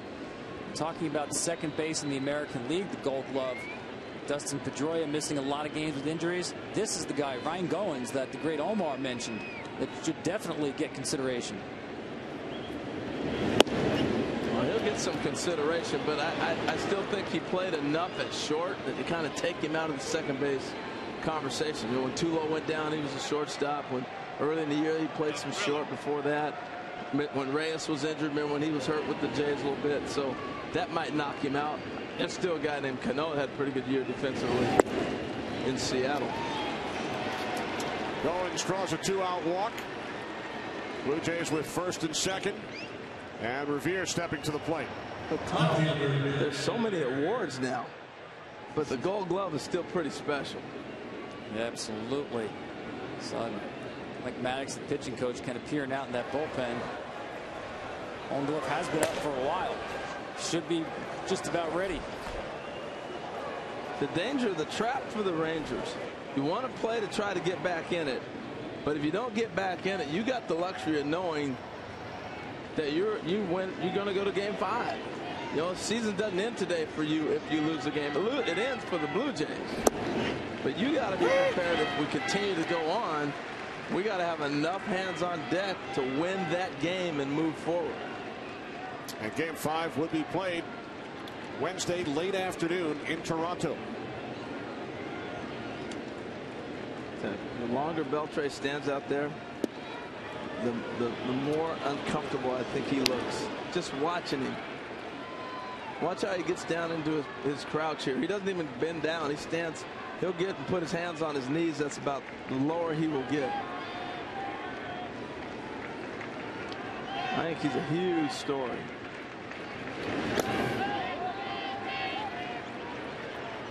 Beltre came out of the game in the third inning of game one. Sat out game two and game three last night. Late addition to the starting lineup today. There's Hanser Alberto, who had the game-winning hit in the 14th inning back in game two. Yeah, the kid played great. I was really impressed with him in the little bit of time that he got. He's not Adrian Beltre, but he did play nice in his short stint.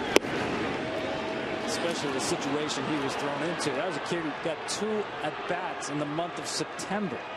And all of a sudden, game one of the postseason, go get him, kid. Our start third baseman's hurt.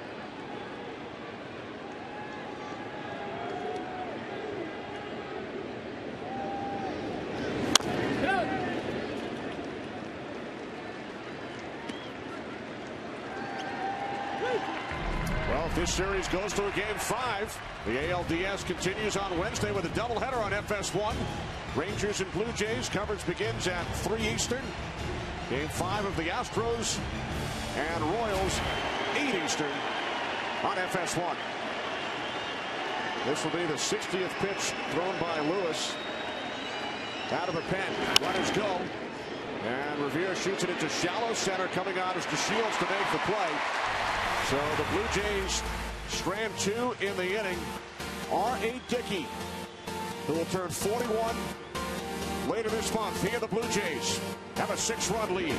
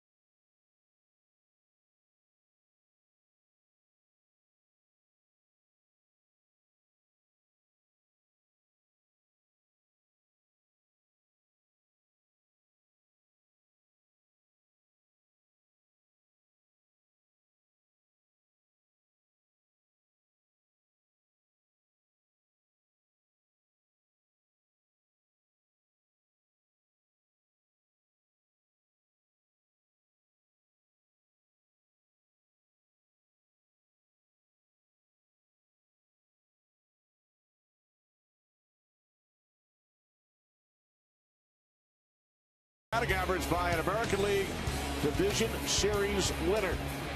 You don't have to go that far back. The Royals last season. Wow. Batting average of 198. You didn't give me a chance to guess.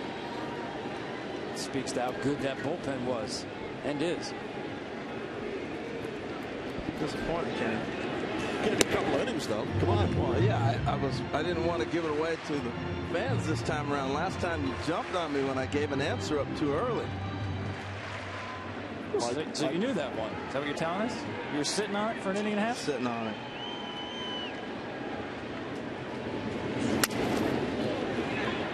Odor down the right field line into the fifth row. R.A. Dickey's allowed just one run on four hits over the first four innings. Today he becomes the oldest pitcher to start in his postseason debut. You see the grip with the fingernails dug into the seams of the baseball and the flight with little spin. It's all about fluid dynamics.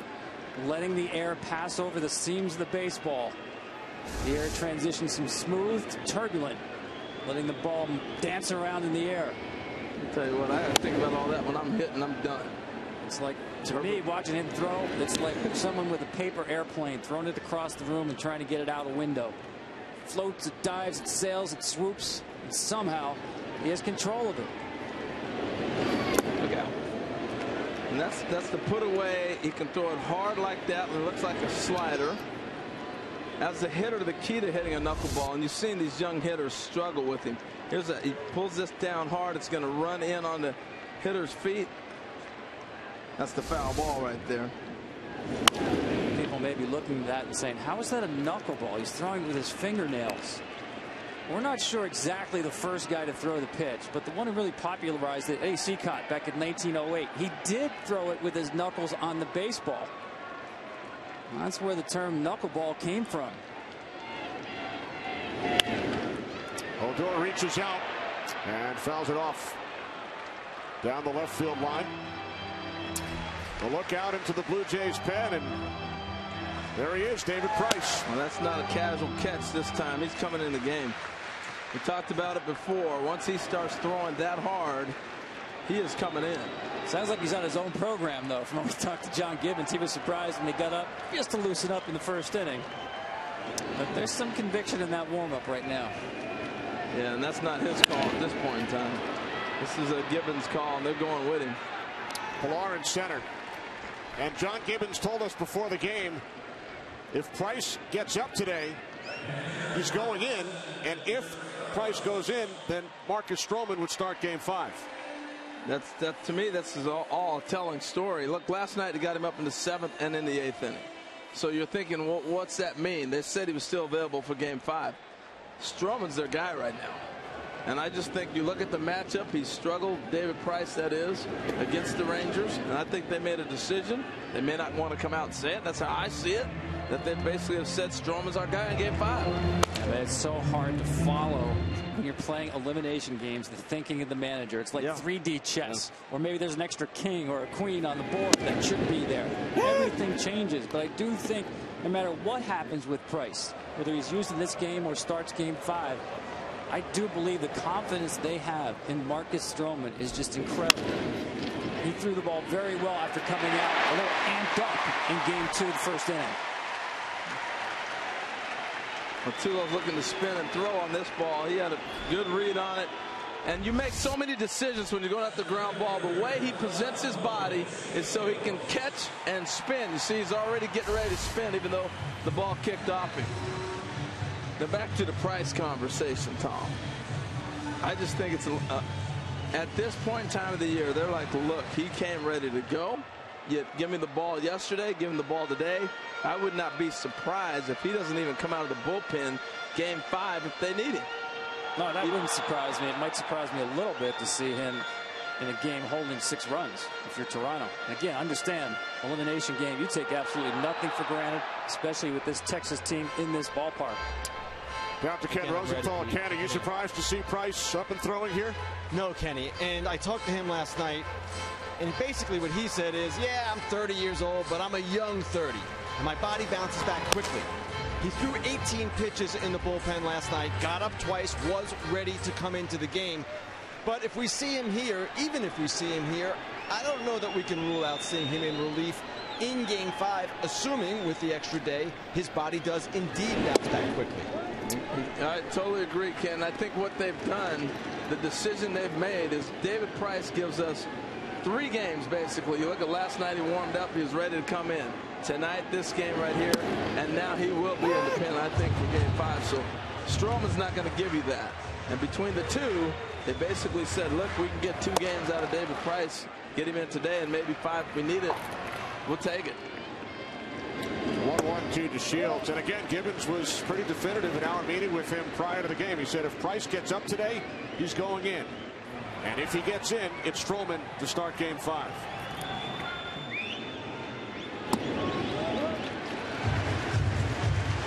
R.A. Dickey's throwing the ball pretty good, though. Done a nice job of keeping their hitters off balance. You're back to the top of the order.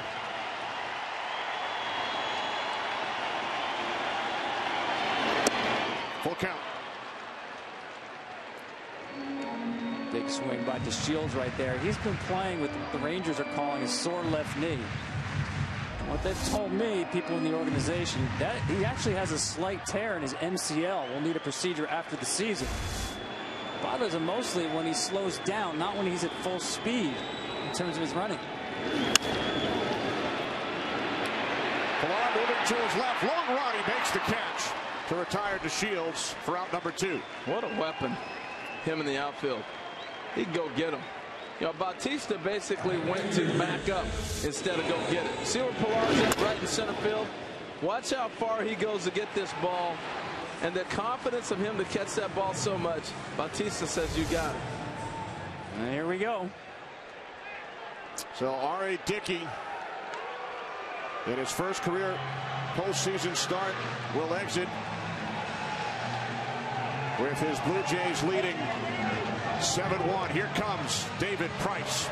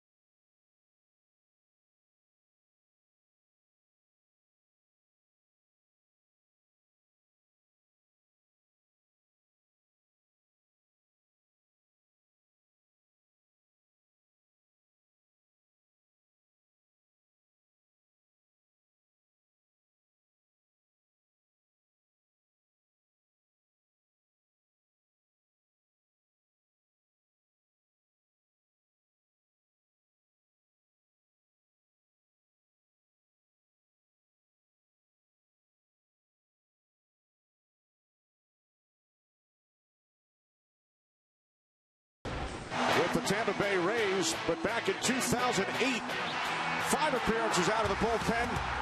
He closed out the ALCS against the Red Sox. That was his hello, my name is David Price moment, introducing himself by sending the Rays to the World Series. So R.A. Dickey cannot pick up the win. He goes four and two thirds in his postseason debut. On the first pitch from Price, Choo flies out to Pillar in center field to end the inning. A smile as David Price heads to the Blue Jays dugout. 7-1 Toronto.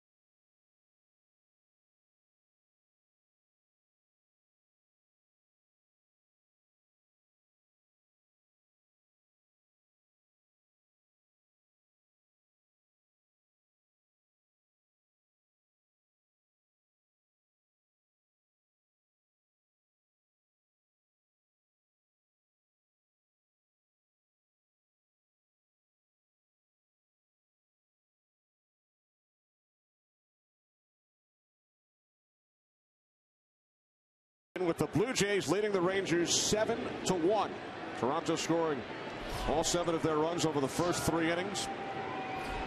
Three home runs for the Blue Jays. Here's Ross Ohlendorf, the veteran right-hander who pitched an inning and a third in last night's game for the Rangers. In to face Donaldson, Bautista, and Carrasco. Donaldson's home run really set the trend early after the bunt base hit by Ben Revere, and he stepped up, hit a opposite field two-run homer.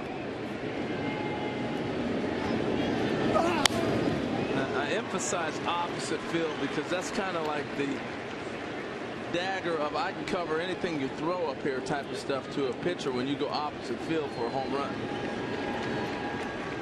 Having fun now. Oh, see the smile right there with a six-run lead, sixth inning.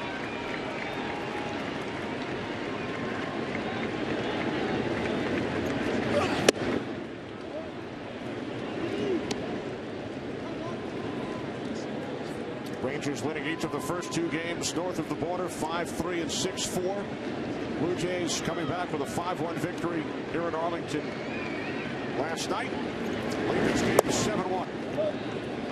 It was interesting looking at the face of R.A. Dickey as Price picked up that last out. I'm thinking, you know, John Gibbons, he's a manager. He's not a screenwriter. In perfect world, Dickey waits till he's age 40. He's one out away from qualifying for a victory a six-run lead. And he gets pulled from the game. I'm in elimination game. I'm sorry. It's 7 to 1. R.A. Dickey sitting over there going, Are you kidding me? That was that look to me. You're coming to get him, get me now? Well, it's interesting because John Gibbons had Price up the seventh and the eighth innings last night with less of a lead and waiting for two runners to get on base. Bigger lead earlier in the game, one runner on, and he went to Price. And there's the look on the face There's that of R.A. Dickey. When the inning ended. A lot of years Yeah, went into this start today. Yeah, great. Yeah, great. Thanks.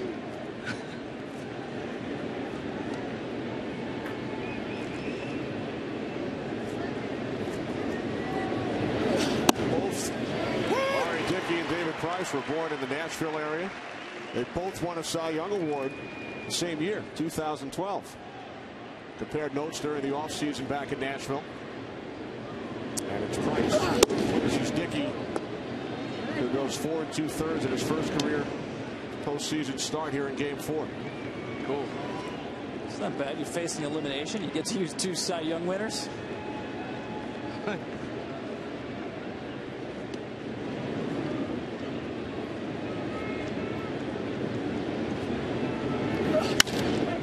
Bautista, right field.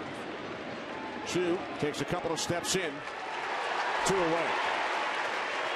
Follow every pitch of the postseason with MLB.com At Bat, the number one app for live baseball. Stay connected with highlights, replay reviews, scores, pitch tracking, live radio broadcasts, and more. Download the At Bat app.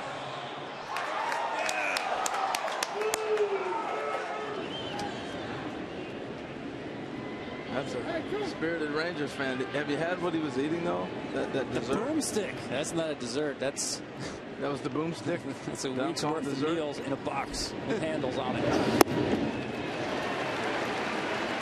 Anytime you order food at the ballpark and it comes with handles, eh, I'd say it's a little excessive. Still tracking the game on the app. The food doesn't come with it, but it's a good app. Scores good.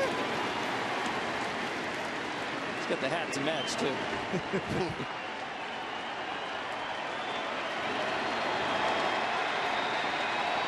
The 0-2 to Encarnacion.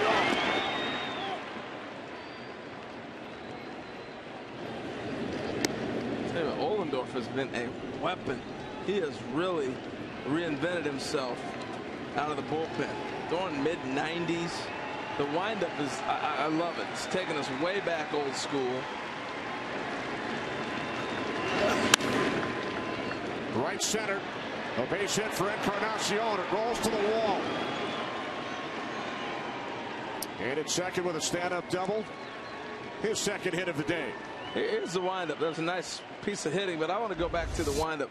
Watch how this is so old. He takes the, the the the wingspan right here, and then watch the front the foot. He disengages, goes back, re-engage, step back again. Tom, I know you'd like to talk about how certain guys set on one side of the rubber to, to get an angle. He goes all over the place. It's once, twice, uh, three times he leaves the rubber and then goes back to it. That's pretty cool. Got to keep a little bit of the little kid in you playing ball.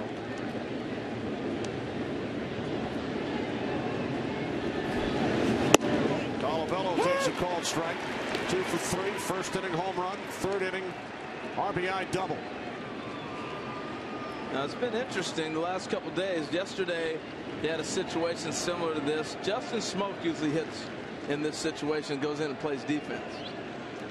And I know it's the sixth. He made the pitching change already, but they haven't done it the last couple days. So maybe we're seeing a little bit of a change in Gibbons' approach. Smoak came in in the eighth inning last night for defensive purposes. Top of the sixth, 7-1 Jays. I think you're right. It's a little early to go to your defensive specialist. And Colabello looks very comfortable at the plate. He's seeing the ball extremely well.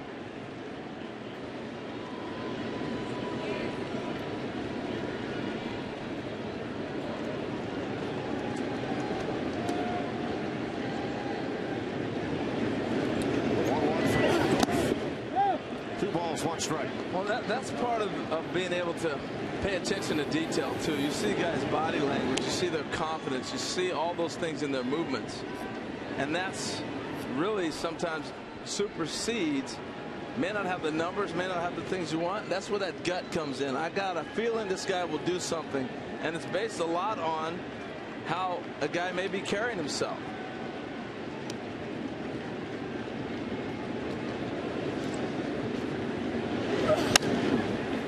Good swing.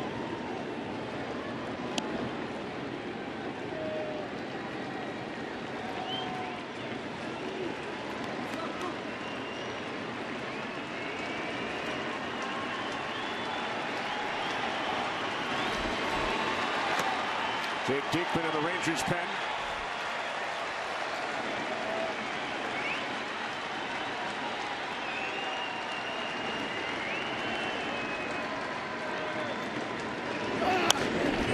Another foul off to the right side.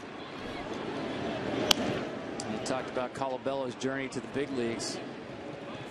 In January of 2012 was when he finally got an invite to the big leagues. The Minnesota Twins paid $1,000 for his rights out of the Can-Am League. And actually last year, a team in Korea wanted him, wanted to pay him a million dollars. And he said, no, I want to stay and give the big leagues my best shot. Colabello got on strikes. Encarnacion stranded on second. Middle of the sixth at Arlington. Still 7-1 Jays.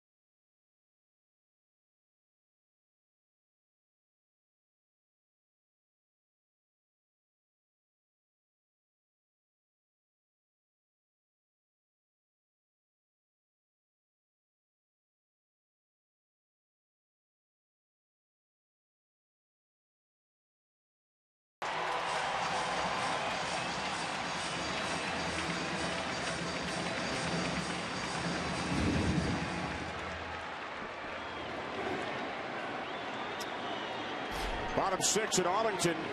Adrian Beltre batting for the third time today. He has two hits. Despite playing with the severe pain, the back strain. Came out of game one of the third inning, did not play in games two and three. But he's managed about a thousand in the series. He's three for three. I gotta believe this is his last at bat, unless this is a big run inning for Texas. Don't forget, this guy already has a mangled ligament and dislocated finger on the left hand. He's got a special pad in his hand just to hit, keeps his index finger off the bat, and now the back spasms. Just incredible the pain that this guy plays with. And this is the first time he's looked like Adrian Beltre in the box. So believe it or not, all the things we've just been discussing, but he's dancing in the box. And when he's dancing in the box, that means he feels pretty good. Watching him in the field, not comfortable. We watched him on the base path. Right here, I don't know, maybe loosened up in between innings, but he feels pretty good right now. Right field, Bautista back on the track, makes the catch to retire Beltre. The swing looks good, and the, the, the running is what bothers you. You can see he's lean, arching his back. Like, you know, you get that tight lower back, and you, you have to arch your body just to feel like you can move. That's what he looks like to me. That's a beautiful swing, but he's not able to finish it. And that's the difference. Now watch him. And here comes the clench your back here so I can get through the, the jog down to first. He definitely looks better. No doubt. Prince Fielder 0 for 2.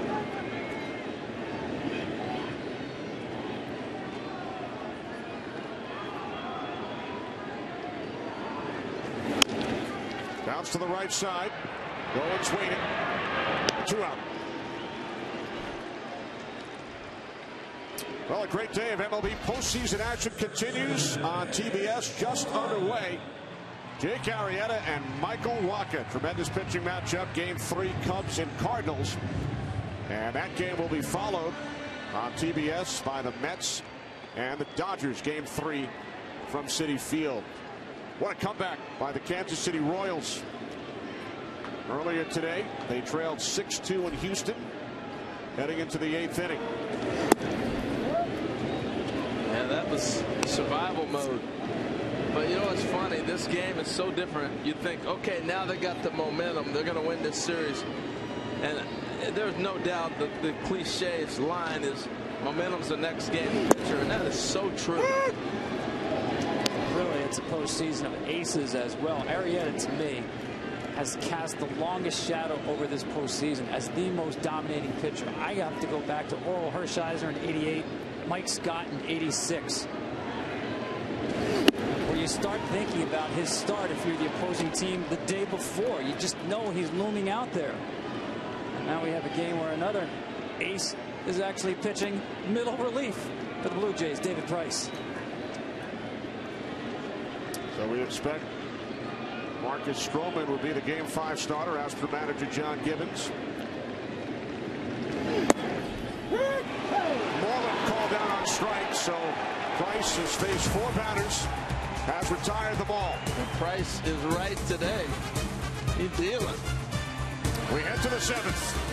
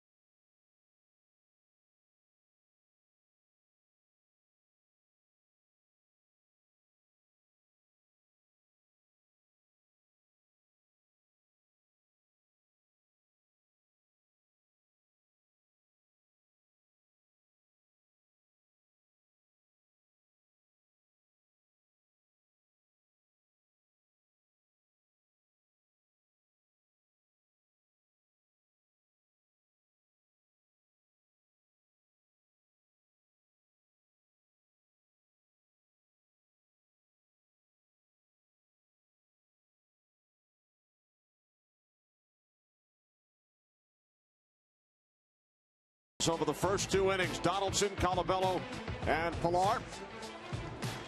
Two hits apiece for Encarnacion, Colabello, and Pillar. Fourth pitcher of the day for the Rangers is the left-hander, of the ex-Philly Jake Diekman, who has retired all 12 Blue Jays he has faced in this series over the first two games. Here's Tulowitzki, 0 for 3, the only Blue Jay starter who has not yet reached base today.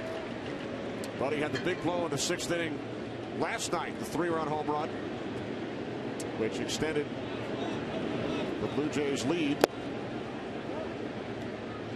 to 5 0. They would win the game 5 1. A little surprised that Beltre stays in the game. I guess Jeff Banister, the manager, he took note of that Kansas City comeback earlier today.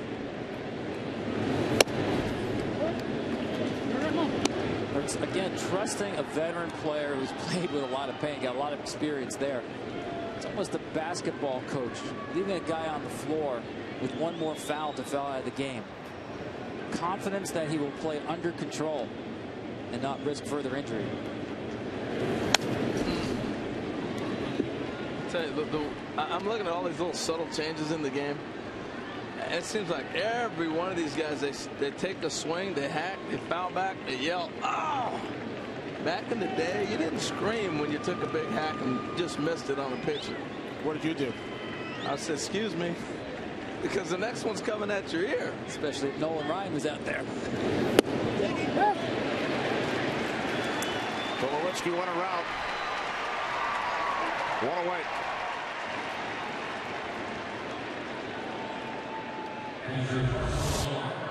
It's a nasty slider. We've been talking about Diekman stuff the whole series. He, he he's a guy that as you start looking to next season and through the rest of this postseason, but next season you sit there and you realize he got out of Philadelphia. Not a lot of people knew about him.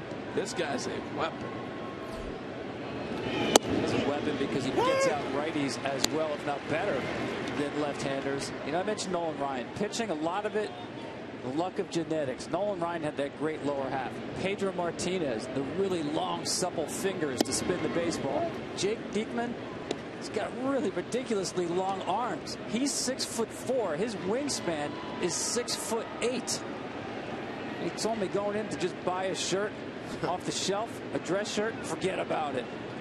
But the long levers that he has works as an advantage for a guy, especially the, the low release point he has, the arm angle he creates. Just a nightmare for any kind of a hitter, right or left. He reminds you of Chris Sale. An awful lot. Looking at him right there, long, skinny, lanky. And then he starts the delivery out here, the arm angle you talk about, and he's got the cheddar. 97. That's why he reminds me of uh, Andrew Miller as well. Very simple delivery, almost just falls to the batter with the tremendous arm speed and the angle he creates on right-handed hitters, the ball bearing in on them.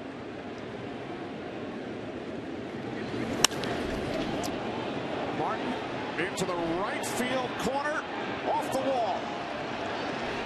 Fielded by Choo. Martin in at second with a double. they've, they've made an adjustment, and Texas is going to have to adjust back. You can't live on the outside half the whole series against a certain team, particularly these guys. We talked about in game one the uniqueness of the Blue Jays hitters is they don't strike out a lot. They have power, but they're not the power guys you can just punch out all the time. So the adjustments we've seen them make, even in today's game, the home runs opposite field right here, Martin opposite field to the wall. Uh, those are the things that, that Texas is going to have to adjust to if we get to a game five. Yeah, you see that was a miss by Diekman. Set target set up inside, left the ball out over the plate. Seventh extra base hit of the game for the Blue Jays. And they are not missing mistakes. No. But he's a guy, if, you, if there's any vulnerability for Diekman, his delivery does not tell you he's going to be able to pitch into right-handers. From where he comes at, that slider is going to be a backdoor slider. The fastball is going to be a fastball outside. Jim Lefebvre, a guy I played with for in Seattle for a number of years, he'd always say, pick up the lane that the pitcher pitches in. This guy's a one-lane pitcher into into left-handers away from the right-hander. That's where he seems to be living right now. In that outside lane to a righty, inside lane to a left hand. And that double off the bat of Martin, the first hit Diekman has allowed in this series. The Blue Jays had been 0 for 13 against Diekman prior to that at bat. Diekman coming over from the Phillies in late July at the deadline, along with Cole Hamels.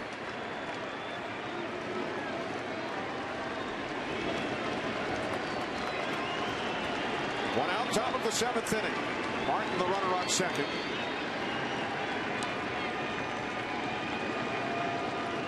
The one-two to Pillar, up the middle, base hit into center field. Martin around third, heading home. The throw is cut off. Blue Jays lead eight to one. Third run batted in of the game for Kevin Pillar.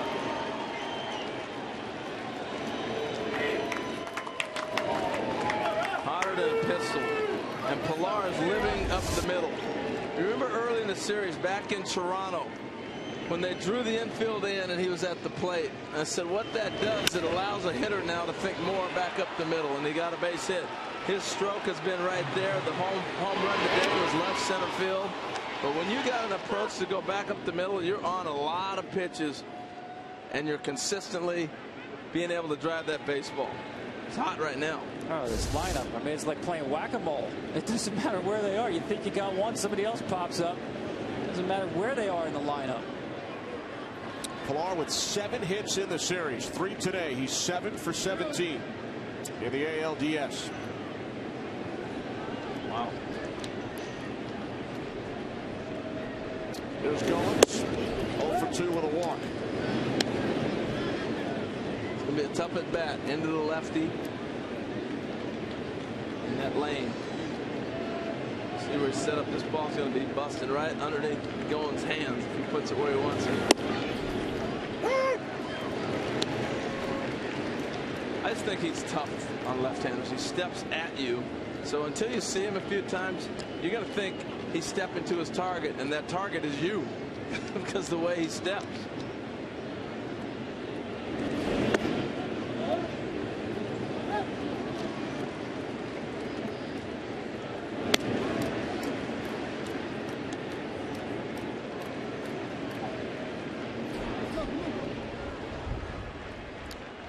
Keone Kela up in the Rangers pen. Texas starter Derek Holland unable to make it out of the third inning. Colby Lewis, who led the Rangers in wins with 17 this season, pitched three innings out of the pen. Then Russ Ohlendorf, now Jake Diekman.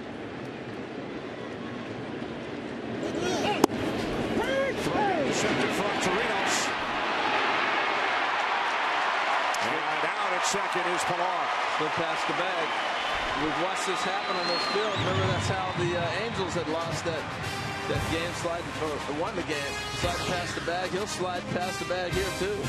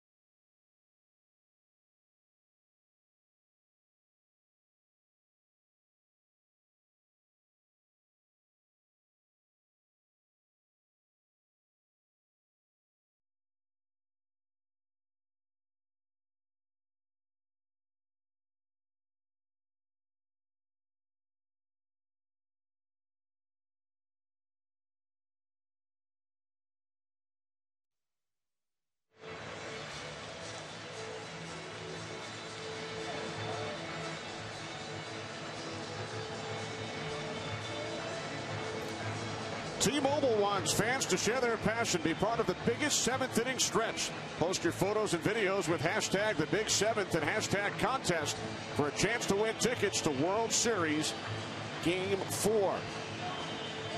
It's game four of the American League Division Series. Blue Jays with an 8-1 lead. Toronto 50 at 50, 500 record over their first 100 games. They were seven games back in their division through July 27th, but then the big deals acquiring Tulowitzki, Price, and Revere at the deadline.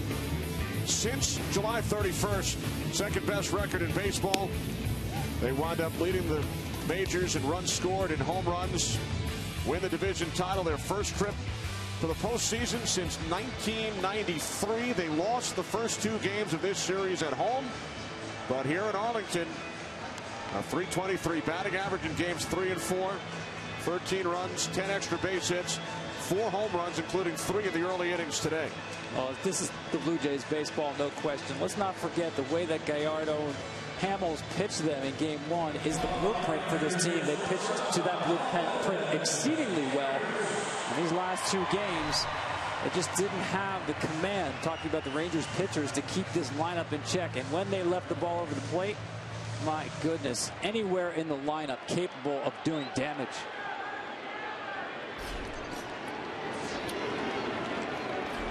David Price has faced four batters since replacing R.A. Dickey with two outs in the fifth. He's retired all four. Strike one to Andrus, who is 0 for 2. Rangers without a base hit since the third inning. So let's say David Price this game. He gets the W, right? He would. He would at score's discretion, but certainly he certainly has pitched long enough and effectively enough to get that W. The guy who, as a starting pitcher, lost all five times in the postseason. Base hit off the bat of Andrus, leading off the seventh for the Rangers.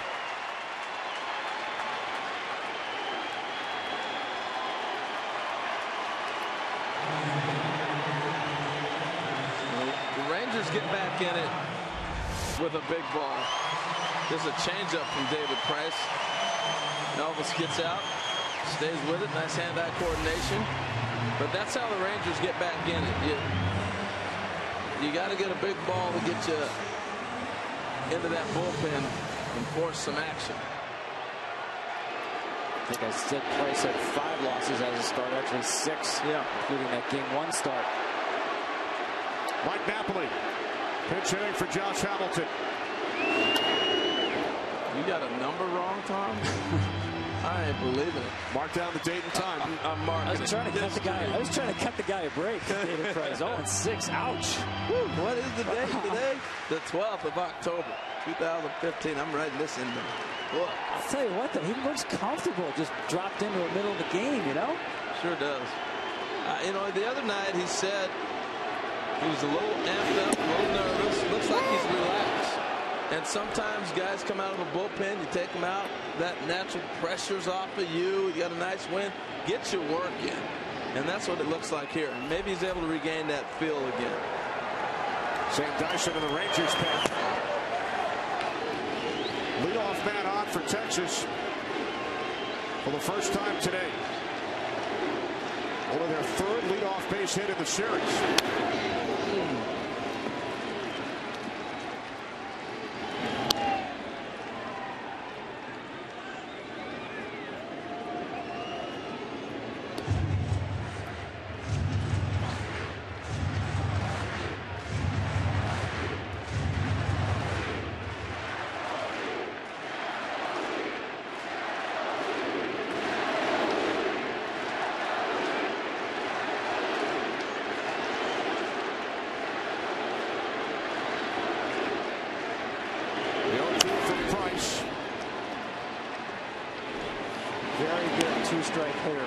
Buckley's fouls off a ton of pitches.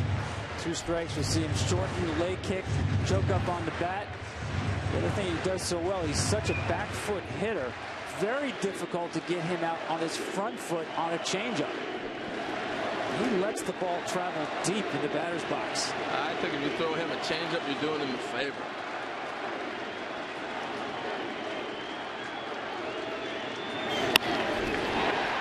Double play ball.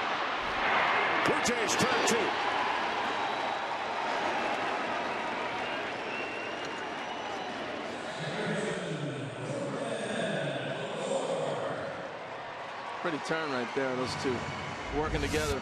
But I, I want to see show you how Tulowitzki comes across the bag right here. Get up, put something on it. Beautiful. That sometimes is the price for letting that ball travel to get deep. Did something hard on the hands, got in his kitchen. Well, that's why I said you're doing him a favor in the changeup when you got a guy throwing this hard that can get deep in when you got a one-two count. So two away here's Odor, who was the big story for the Rangers over the first two games of this series.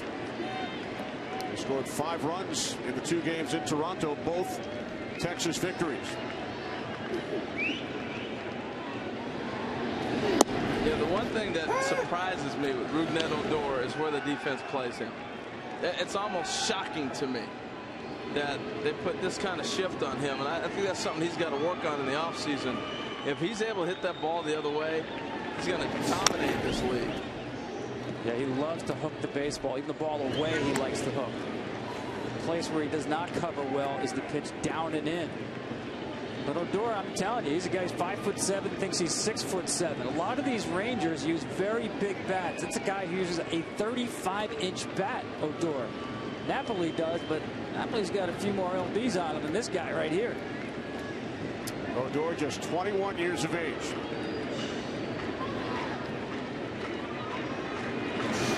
That is a that heavy that heavy of a bat is a throwback mentality. Most guys are swinging 32, 31 ounces today. And really the, the philosophy and thought behind a heavier bat is if you can just touch it, the ball's going to jump. And that's the swing I'm talking about. That ball's away and he's trying to hook the baseball. That big a bat, man. Once it gets going, you can't stop it. Odor hit 16 home runs this season despite spending a month in the minor leagues. The only other second baseman in baseball history under the age of 22 to hit that many home runs, Bill Mazeroski, 1958. Wow, I was going to say somebody like Bobby Grich or something. Maz. There it is, right there. That's all he's got to do. Odor listens to Harold, heading for two. Not now. I'm telling you, if he adds that to his game, and now you force that defense to open up, it opens up the right-hand side for him as well as down the line. You're talking about a guy that's going to go from 270, 280 to 310, 320. With his power and his ability, he's going to walk because he has power. And if he can shoot a ball there, that's a double. He hit a ground ball double. I mean, uh, he's got to look around and open that up. He's got to add that to his repertoire. First extra base hit for the Rangers today, and the first hit by someone other than Choo and Beltre.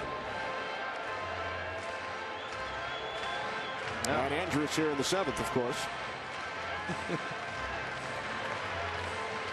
so David Price working in relief here in game four. Has allowed two hits in the seventh. He retired the Rangers in order in the sixth. And that little walkout right there by Russell Martin was how you feeling? You okay?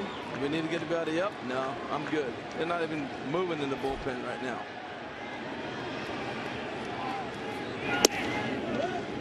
And I think it's interesting, Tom, with both managers being former catchers.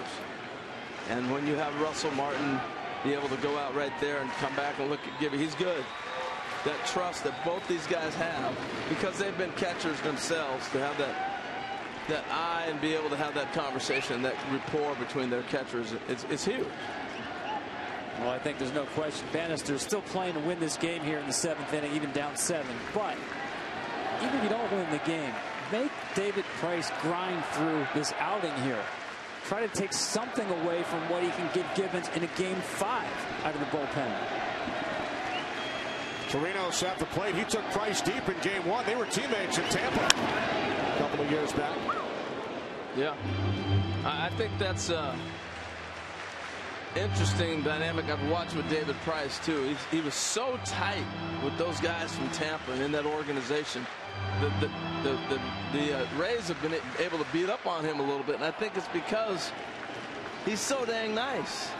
You know, they know he's not going to knock me down. I'm going to get in here and swing as hard as I can. Chirinos is trying to leave on him. That's something that will come with time as he distances himself from that organization. His former battery mate. Chirinos with a base hit into left field. Here comes Odor. He scores the Rangers' second run of the game. It's now 8-2 Toronto, and for the Rangers, their first hit with a runner in scoring position in the last two games. Well, back-to-back -back hits, and Tom, I go directly to your point. You're looking at right now, if you're Texas, we may not win this game, but we're going to knock David Price out of game five. String together at bats, grind it out as if this game was 0-0. Changeup gets him out front. Nice job by Chirinos to make the adjustment, not get beat. Well, we watch now a couple base hits on David Price's changeup, and you know that's the, the the, the pitch that's in jeopardy. Can he come out and throw 95 out of the bullpen after being up in Game Seven, uh, being up the other day in the seventh and eighth inning, and come back today? Yeah, he's got that. But the touch and feel is what goes away when guys are fatigued, and that was a little bit too hard on the changeup. At least that's what I've been able to see uh, with pitchers when they come back on short rest or in this situation like him, what he's doing now. The touch and feel.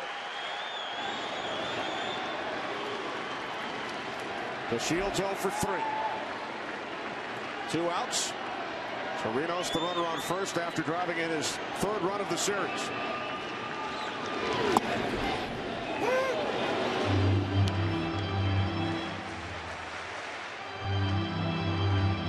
Blue Jays looking to force a game five. They lead by six.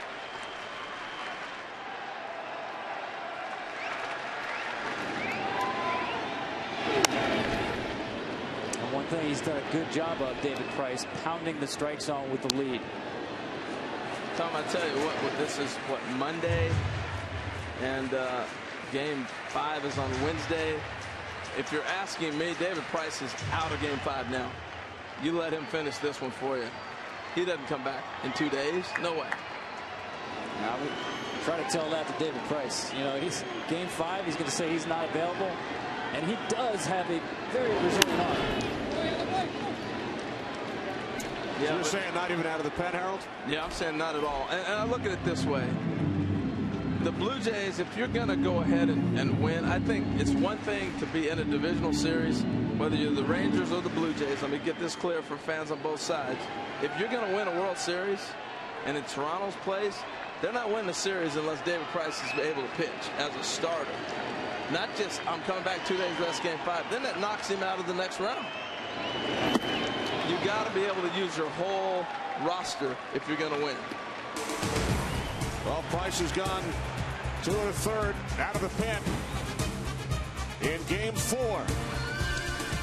We head to the eighth in Arlington.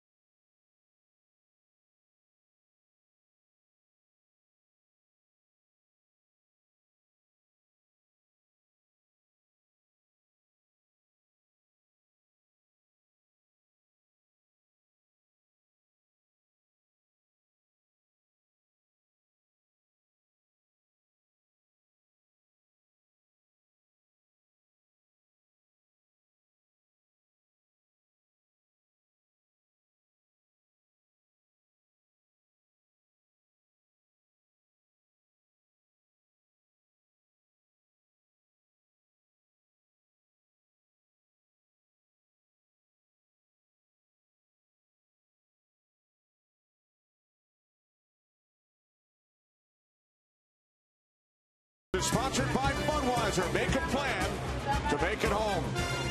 By Cricket Wireless, something to smile about. And by Mini, the 0 to 15 sales event is happening now. Ready for dinner, Harold? I'm looking at that, but nah, I'm not ready for that. No? Yeah, that'll tear you up right there. There's Will Venable now in left field for the Rangers. And the fifth pitcher of the day for Texas is the right-hander Sam Dyson. He will face the top of the Blue Jays order here in the eighth. Revere leads off, then Donaldson, then Bautista. Toronto with an 8-2 lead. Kansas City forcing a game five in the other ALDS. How about this, guys? The Royals with that four-run deficit heading into the eighth inning.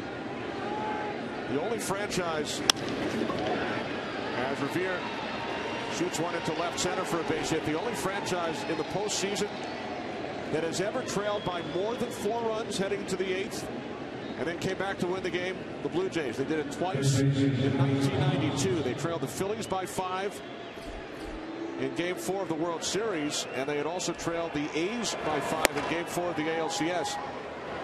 Entering the eighth inning, came back to win both times, and the Royals with a four-run deficit heading into the eighth today. So a historic comeback by the Royals. Only the Blue Jays have done it in the postseason. Uh, I was watching uh, when we were up in Toronto the playback of that Phillies game. Remember that 15-14, the 93 team, Blue Jays in Philadelphia. I remember that game. That was a long night. I'll tell you the thing I remember about that game. Revere goes. Throw from Chirinos. And Revere is in with his second steal of the series. Here's what I was talking about before, too, keeping that pressure on. All bets off. This is a postseason game. You got to keep going and bury him. What's the difference with Revere? We saw last time he'll dive earlier and the slide. Now he's going to stick the slide and he stays on the back. That's how Rickey Henderson used to slide. Rickey used to come in so hard that as a defender catching the ball, you thought he might blow your knees out. You see how he hit Odor right there? When Rickey would slide, you basically had to spread your legs and let him slide through your legs or else he would knock your knees out from underneath you and you walk away with the with a bruise. And they want to challenge this.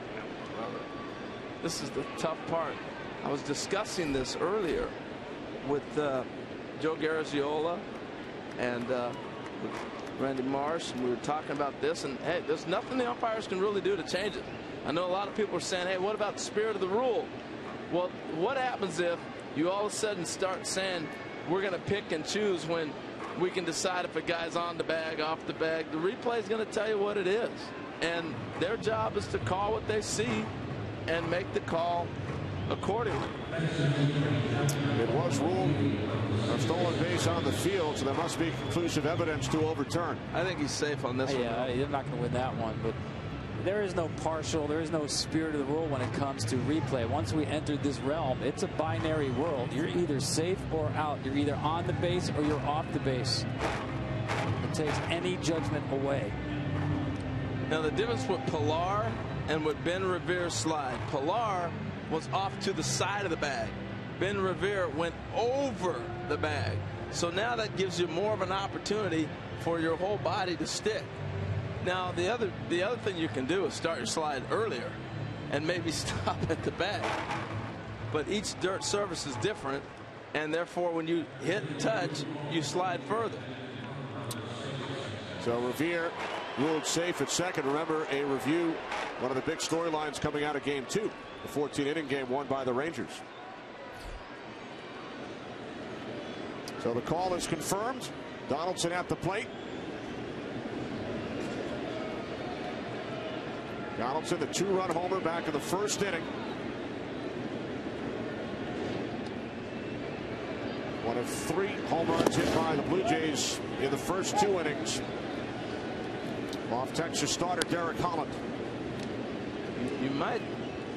I, I don't know how they solve the sliding. You got to stick your slides. You just do. You guys are going to have to work on it and perfect it. The sliding in baseball has been terrible all season long, watching all the different teams. They've got to figure out that adjustment. of how to become better sliders, and you got to practice it. Center field to Shields. One away. Well, Saturday, it's a full day of college football across the Fox networks, highlighted by West Virginia trying to contain the high-octane offense of the second-ranked Baylor Bears on Fox. Saturday on Fox, FS1, the Big Ten Network, and streaming live on Fox Sports Go. Well, it's flip a coin who's the best team in the country right now, but Baylor is very impressive. Ohio State up and down, inconsistent. They're going to stay up there because they won it last year, but uh, it, it's going to be an interesting college season. And when they come out and pick the, when the committee comes out with their listing, I'm looking forward to seeing what they, how they, they rank people. Big wins by a couple of the teams here in Texas over the weekend. So, Kenny, I know I left you hanging going into my Wayback Machine to 1993. That game at Veterans Stadium, 16 to 13. During the, all that craziness, I remember a sign being held up by a fan in the stands that said, "We'll pitch middle relief for food." That's how hard it was to find anybody to pitch middle relief and get somebody out. And they took him up on his offer, right? Yeah, one of those boomsticks. Ground ball to the shortstop, Andrus. Bautista is retired.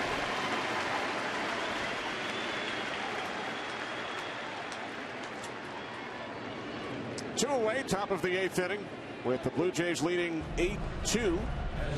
And should they hold on to this lead, game five of the American League Division Series, we'll have it for you on FS1 Wednesday. Coverage beginning at 3 Eastern, and then it will be game five, Astros and Royals, 8 Eastern, Wednesday on FS1. Home teams in the division series 11 and 15 all time in game five. Off the glove of Dyson. And is retired. Middle of the eighth here in Arlington. Blue Jays leading by six.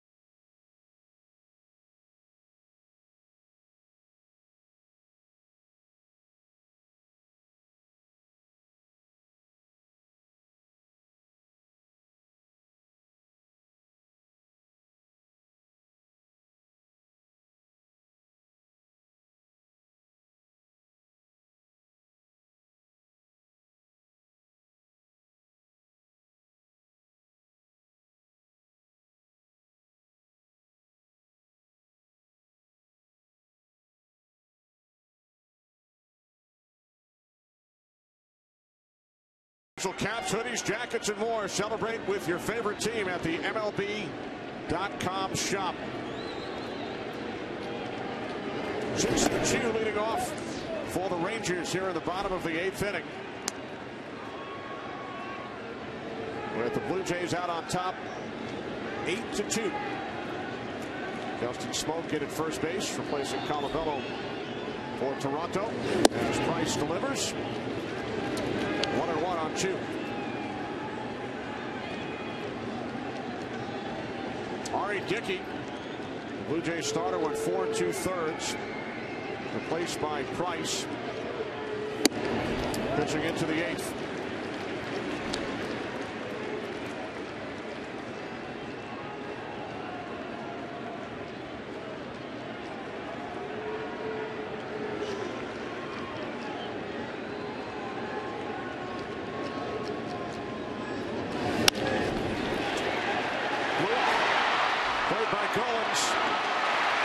Safe at first is Choo. What a play. You know, you want to see why I keep talking about this guy's a big league shortstop. The range and the arm. Look, he's starting on the grass. He's not in the outfield grass. Look how far he goes to get this ball. And then I thought, no way this is going to be even close. This is Shin-Soo Choo who hit this ball that can run. Catches it, is able to spin and has the arm strength to put something on it where it's actually fairly close. What a play. Great play. You saw the pre-pitch routine reminiscent of Dustin Pedroia jumping to get himself ready as the pitch is being delivered.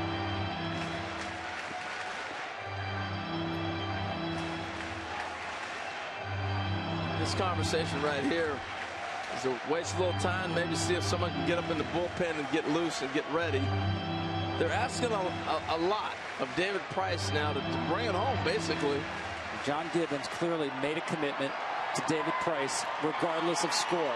It didn't seem as if he was trying to divide innings among games four and five. It was all in right now. And we mentioned earlier, Gibbons told us before the game, if Price gets in today, Marcus Stroman will start game five on Wednesday. Adrian Beltre still in the game in the eighth inning. Are you surprised? I, am very, I'm a little bit surprised. I, I was going to say very surprised. I'm a little surprised. Stroman, I, I, I, get it. They love the attitude. The stuff was there. Is he on short rest? So you're looking at him on short rest. And David Price, I know he had a, didn't have the greatest outing game one, but I might have had to reverse the roles here. And Stroman was ready to bring him into this game. But to go, I don't know. I guess the question mark for me, Tom, is to have David Price when he came in, it was seven to one. Yeah, I would definitely watch him very quickly, or very closely here, because now they're starting to grind out at bats, making him throw a few more pitches, stress him a little more.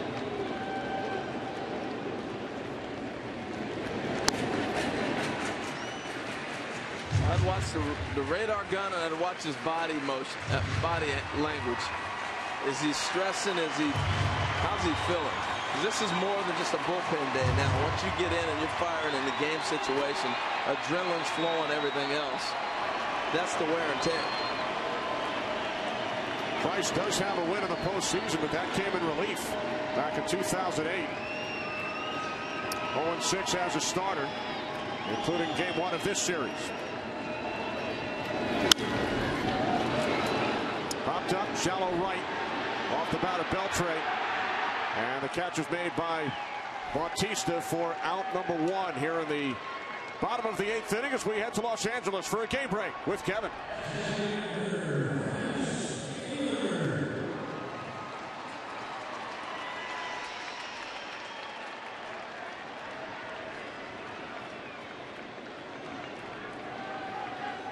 Thanks, Kevin. It is game three with that series tied at one. Mets and Dodgers also one apiece. Game three tonight. Schwarber, beast, man. Opposite field home run right there. Swinging it. Prince Fielder 0 for 3. Yeah, I, I don't want to make too much out of this, but Rangers need this guy to have a good at bat right here. You know, get this guy back to where he wants to be. Postseason obviously has been rough for him, not just this year, but across the course of his career even if you're talking about taking something into game five, better mindset, feel good, square something up. Jon Daniels, the general manager of the Texas Rangers. I know he'd like to see a good AB right here, too. But it started off so promising. First at bat, I think he got a base hit, didn't he, in, in first game one? For the ball in the right center field for a hit.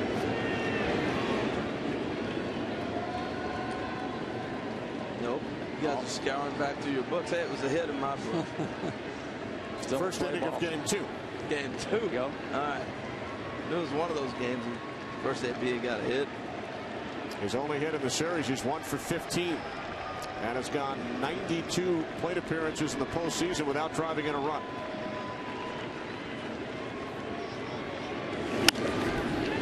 It's almost like the effect of Tulowitzki's home run yesterday. You know, he was obviously scuffling. Changeup left over the plate. He crushes it out for a three-run homer. Makes the whole team feel good. Getting one of your star players back on point.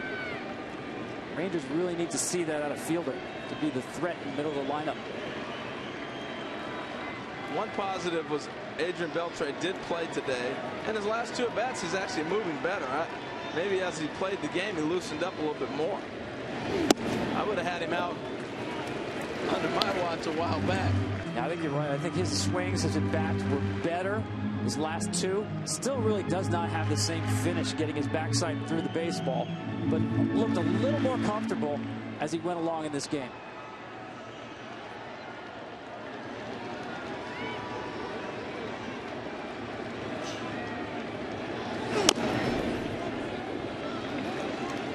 Prince's timing's just off, and I saw it last night with Estrada did a great job of mixing it up, and and he has he hasn't got that rhythm.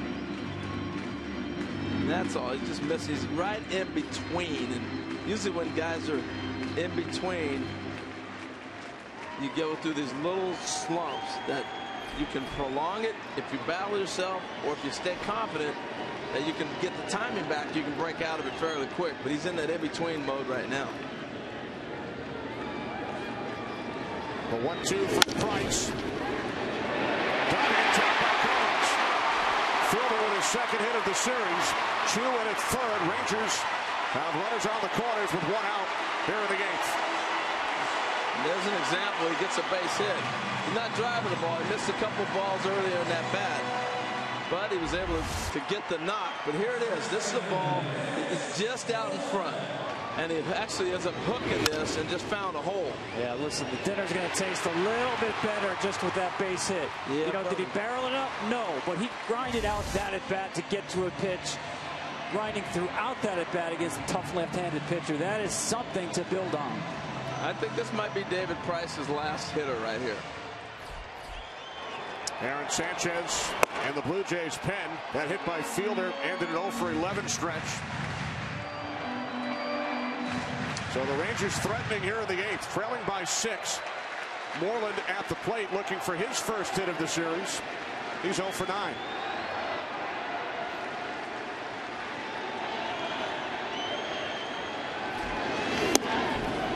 Let's not forget, guys, we had John Gibbons by design start a knuckleball pitcher and bring in a left-hander throwing upper 90s. Think about the difference in the timing. And I talked to Dave Magadan, the hitting coach, the Rangers, about that. He said it's definitely an effect for hitters. It does take a while to adjust, comparing it to seeing Jered Weaver of the Angels, and then a hard-throwing bullpen guy comes in behind him. Now you're seeing some better at-bats now, seeing David Price a second time. No, it does take time. And a lot of a lot of times the knuckleballer will mess up your swing entirely. And watching RA, that's why I was surprised they took him out so early. With all these young players, the Rangers that had never seen a knuckleball, he made them look silly. They didn't have good swings. I like the first swing by Moreland in this at bat right here. He tried to get you a three ball real quick on one swing. Even the second one was not bad, but the first one, he's looking to get you three points real quick. And you're right back in it.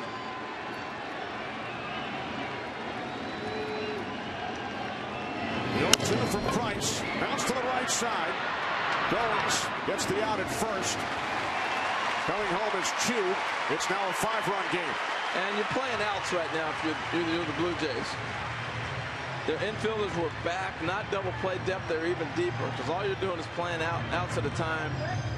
And that's why Goins not gambling to go to second base. We cut off the lead runner or anything like that. You're playing outs and trying to win this game.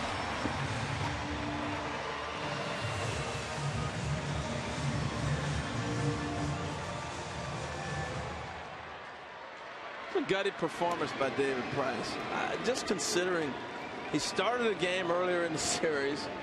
He, he was up yesterday twice. Did some stretching exercises in the first inning today. Yeah. They dropped parachute into the game in the middle of the game and really looked comfortable from pitch one. Says a lot about his mindset to do anything. His first pitch. Base hit center field. Fielder comes home. Throw is cut off. It's a four-run game.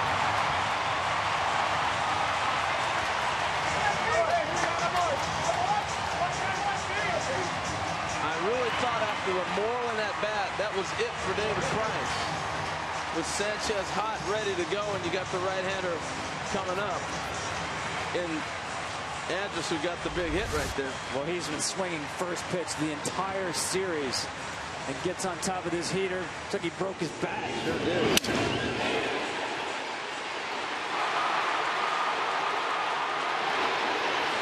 Now Jeff Banister is going to go to his bench and force a move by John Gibbons. Chris Stubbs has come out into the on-deck circle. Gibbons out to the mound.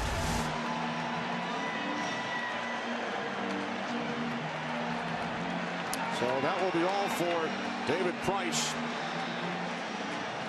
who pitches three innings out of the bullpen in game four. Here comes Aaron Sanchez.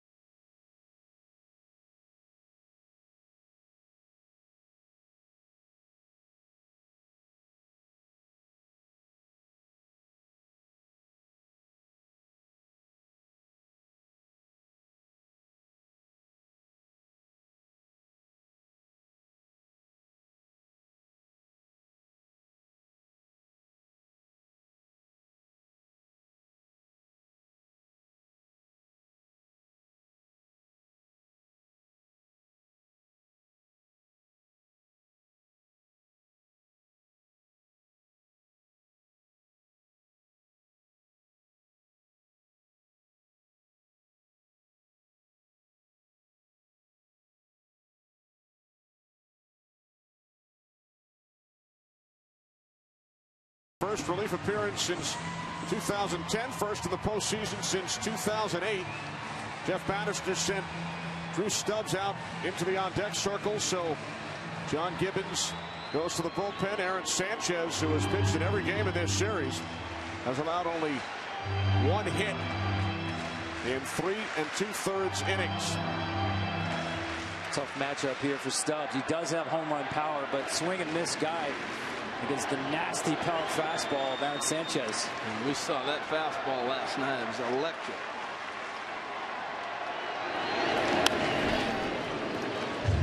Hmm. toughest job in baseball, pinch hit. Come up swinging. First at bat of the series for Stubbs. He has never faced Sanchez. Andrus, the runner on first. Two runs in the inning for Jeff Banister's Rangers.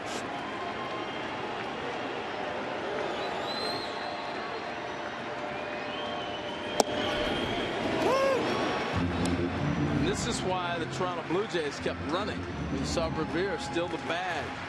You watched uh, Pillar get thrown out stealing because he slid past the base. But this ballpark plays like a home run park. It can is very conducive to scoring a lot of runs. The 0-2 from Sanchez. Stubbs did not go around, says Dale Scott. Yeah, this is big league hardball, postseason style. Don't worry about feelings on the other side of the field. Odor on deck. 8-4 Blue Jays. They led 8 to 1. And Stubbs is down on strikes to end the inning. Rangers score two. Price in line for the win. We head to the ninth.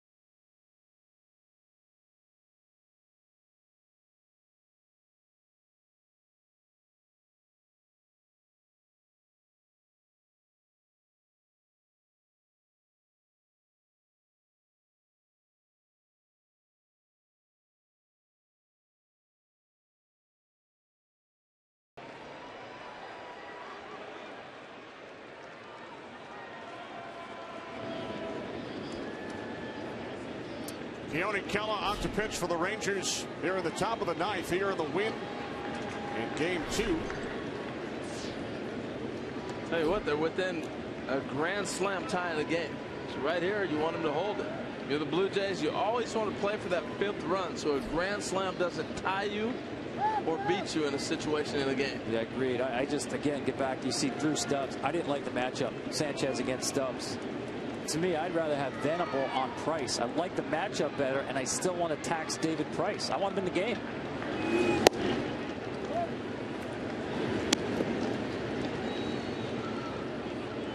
Yeah, no, I, I'm, I'm following what you're saying. And I still think with 50 pitches, really not that stressful. he will be available for game five. Now, how effective, how far he can go, we won't know. We'll have spikes on first inning if we get to game five. Yeah, you're probably right. I mean, the only thing that brings into question for me is he threw yesterday twice. But watching Marcus Stroman get up and wing the ball all over the place like he's getting ready to come in, uh, who knows what these guys are used to doing on a daily basis throwing. There is Roberto Osuna up and throwing in the Blue Jays pen. 2-1 to Smoak. And he smokes it into right. Catch is made by Choo for out number one.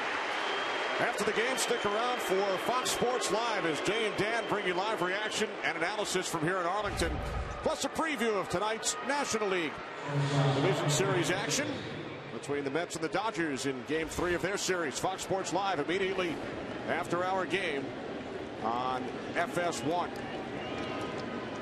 One away, here's Tulowitzki.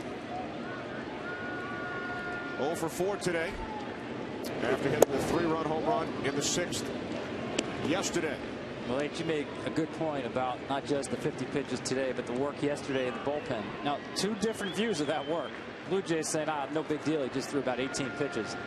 Interestingly, Jeff Banister telling us he had his eye on every pitch David Price threw in the bullpen yesterday. And he said, don't misunderstand. He was getting hot in both the seventh and the eighth innings. And Banister's vantage point is directly to that bullpen, and he's hey, he's looking to see how he's going to manage against David Price. So I, I kind of have a feeling that he was looking a little bit closer maybe than everybody else. He doesn't miss much. John Gibbons, as we mentioned, telling us that if Price came into the game today, Stroman would start game five. What a story. Not many thought Stroman would return this season following a torn ACL and reconstructive knee surgery. While he was rehabbing, he went back to Duke University, earned his degree in sociology. Real cool. 4 0 following his return.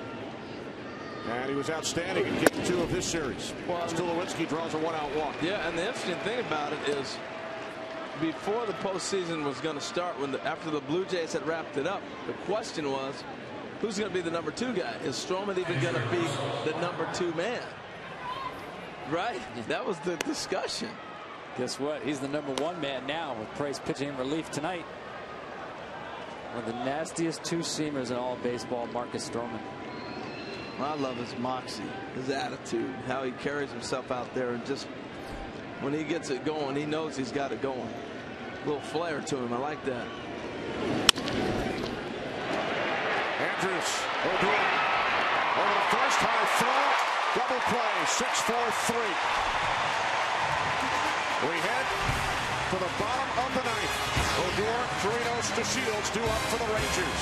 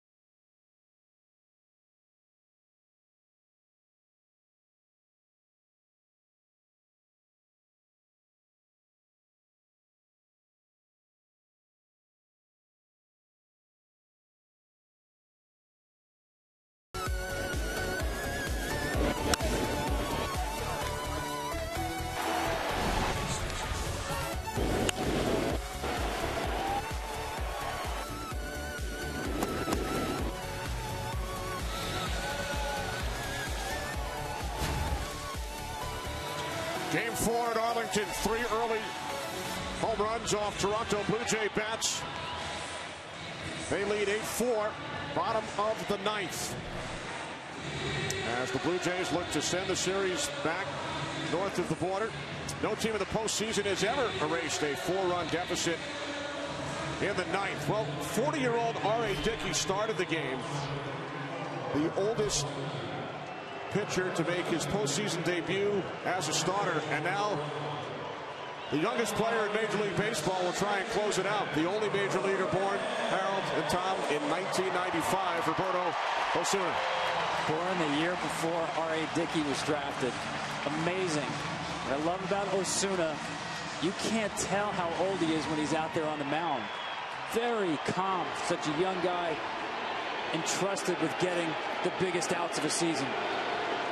Well, I've always said I'd rather have talent than experience. And he's very talented. These look at these two. This is a battle of the, the Titans in years to come. Odor, just barely 21 years old, and Osuna, 20. So a combined age of 41. Dickey will turn 41 later this month. Look at you.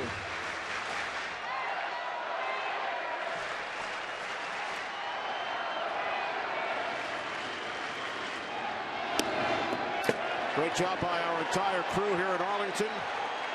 Led by our producer Pete Macheska, director Jonathan Evans, associate director Aaron Stoikov, broadcast associate Jordan Harrison, technical director Paul Harvath, tech manager Craig Marlowe, Dave Corris, Ben Bowler, Wayne Fiddleman crunching the numbers, and Ryan Panitz here in the booth. A one one. Two balls, one strike.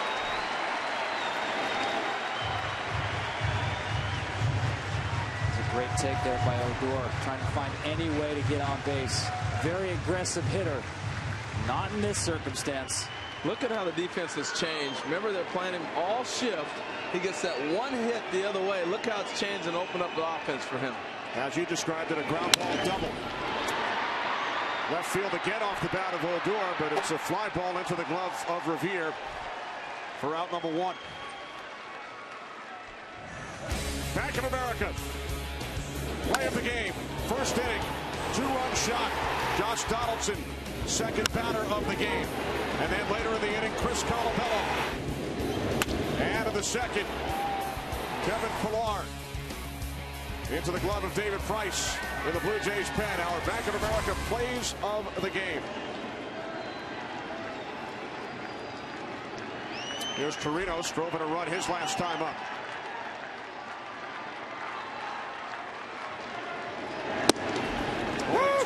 In the history of the division series, which came into play in 95 after division series in 81. And then 14 years later, they came back for good. Only twice has the road team won all five games in a division series. Wow. Texas Rangers in 2010. And the San Francisco Giants in 2012. So the team winning all five. A shot of Donaldson there. Usually you talk about the outfields as the sun field. He's probably thinking right now, don't hit to me. Does not have the sunglasses.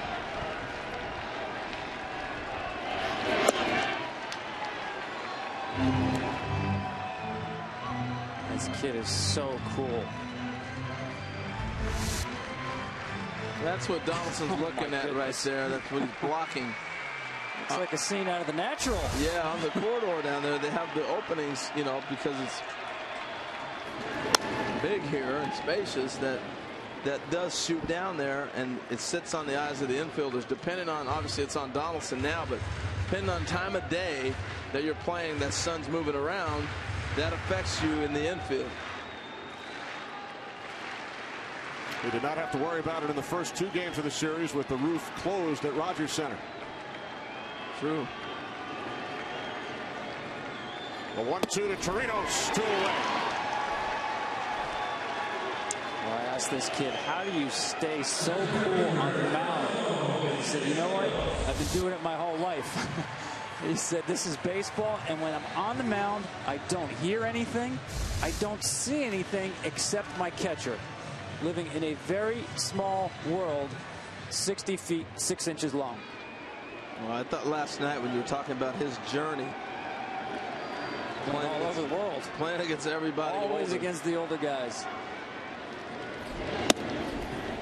Everybody's older in the major leagues. Yes. And you know what he does so well? When he's at a lead like this, here's a strike one. It just changes the how the hitter can attack you now.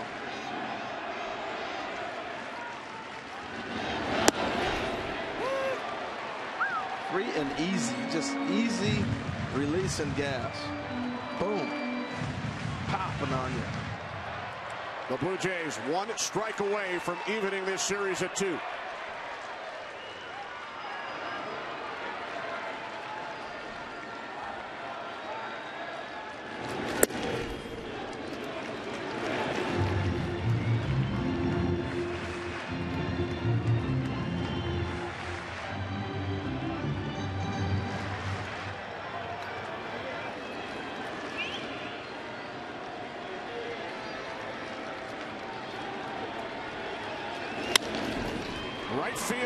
Bautista. The series heads back to Toronto, tied at two games apiece. Donaldson, the big blow in the first inning. Pillar with a home run. So Jose Bautista and the Blue Jays, after losing the first two at home, pick up two huge wins here in Arlington. Blue Jays win game four, eight to four.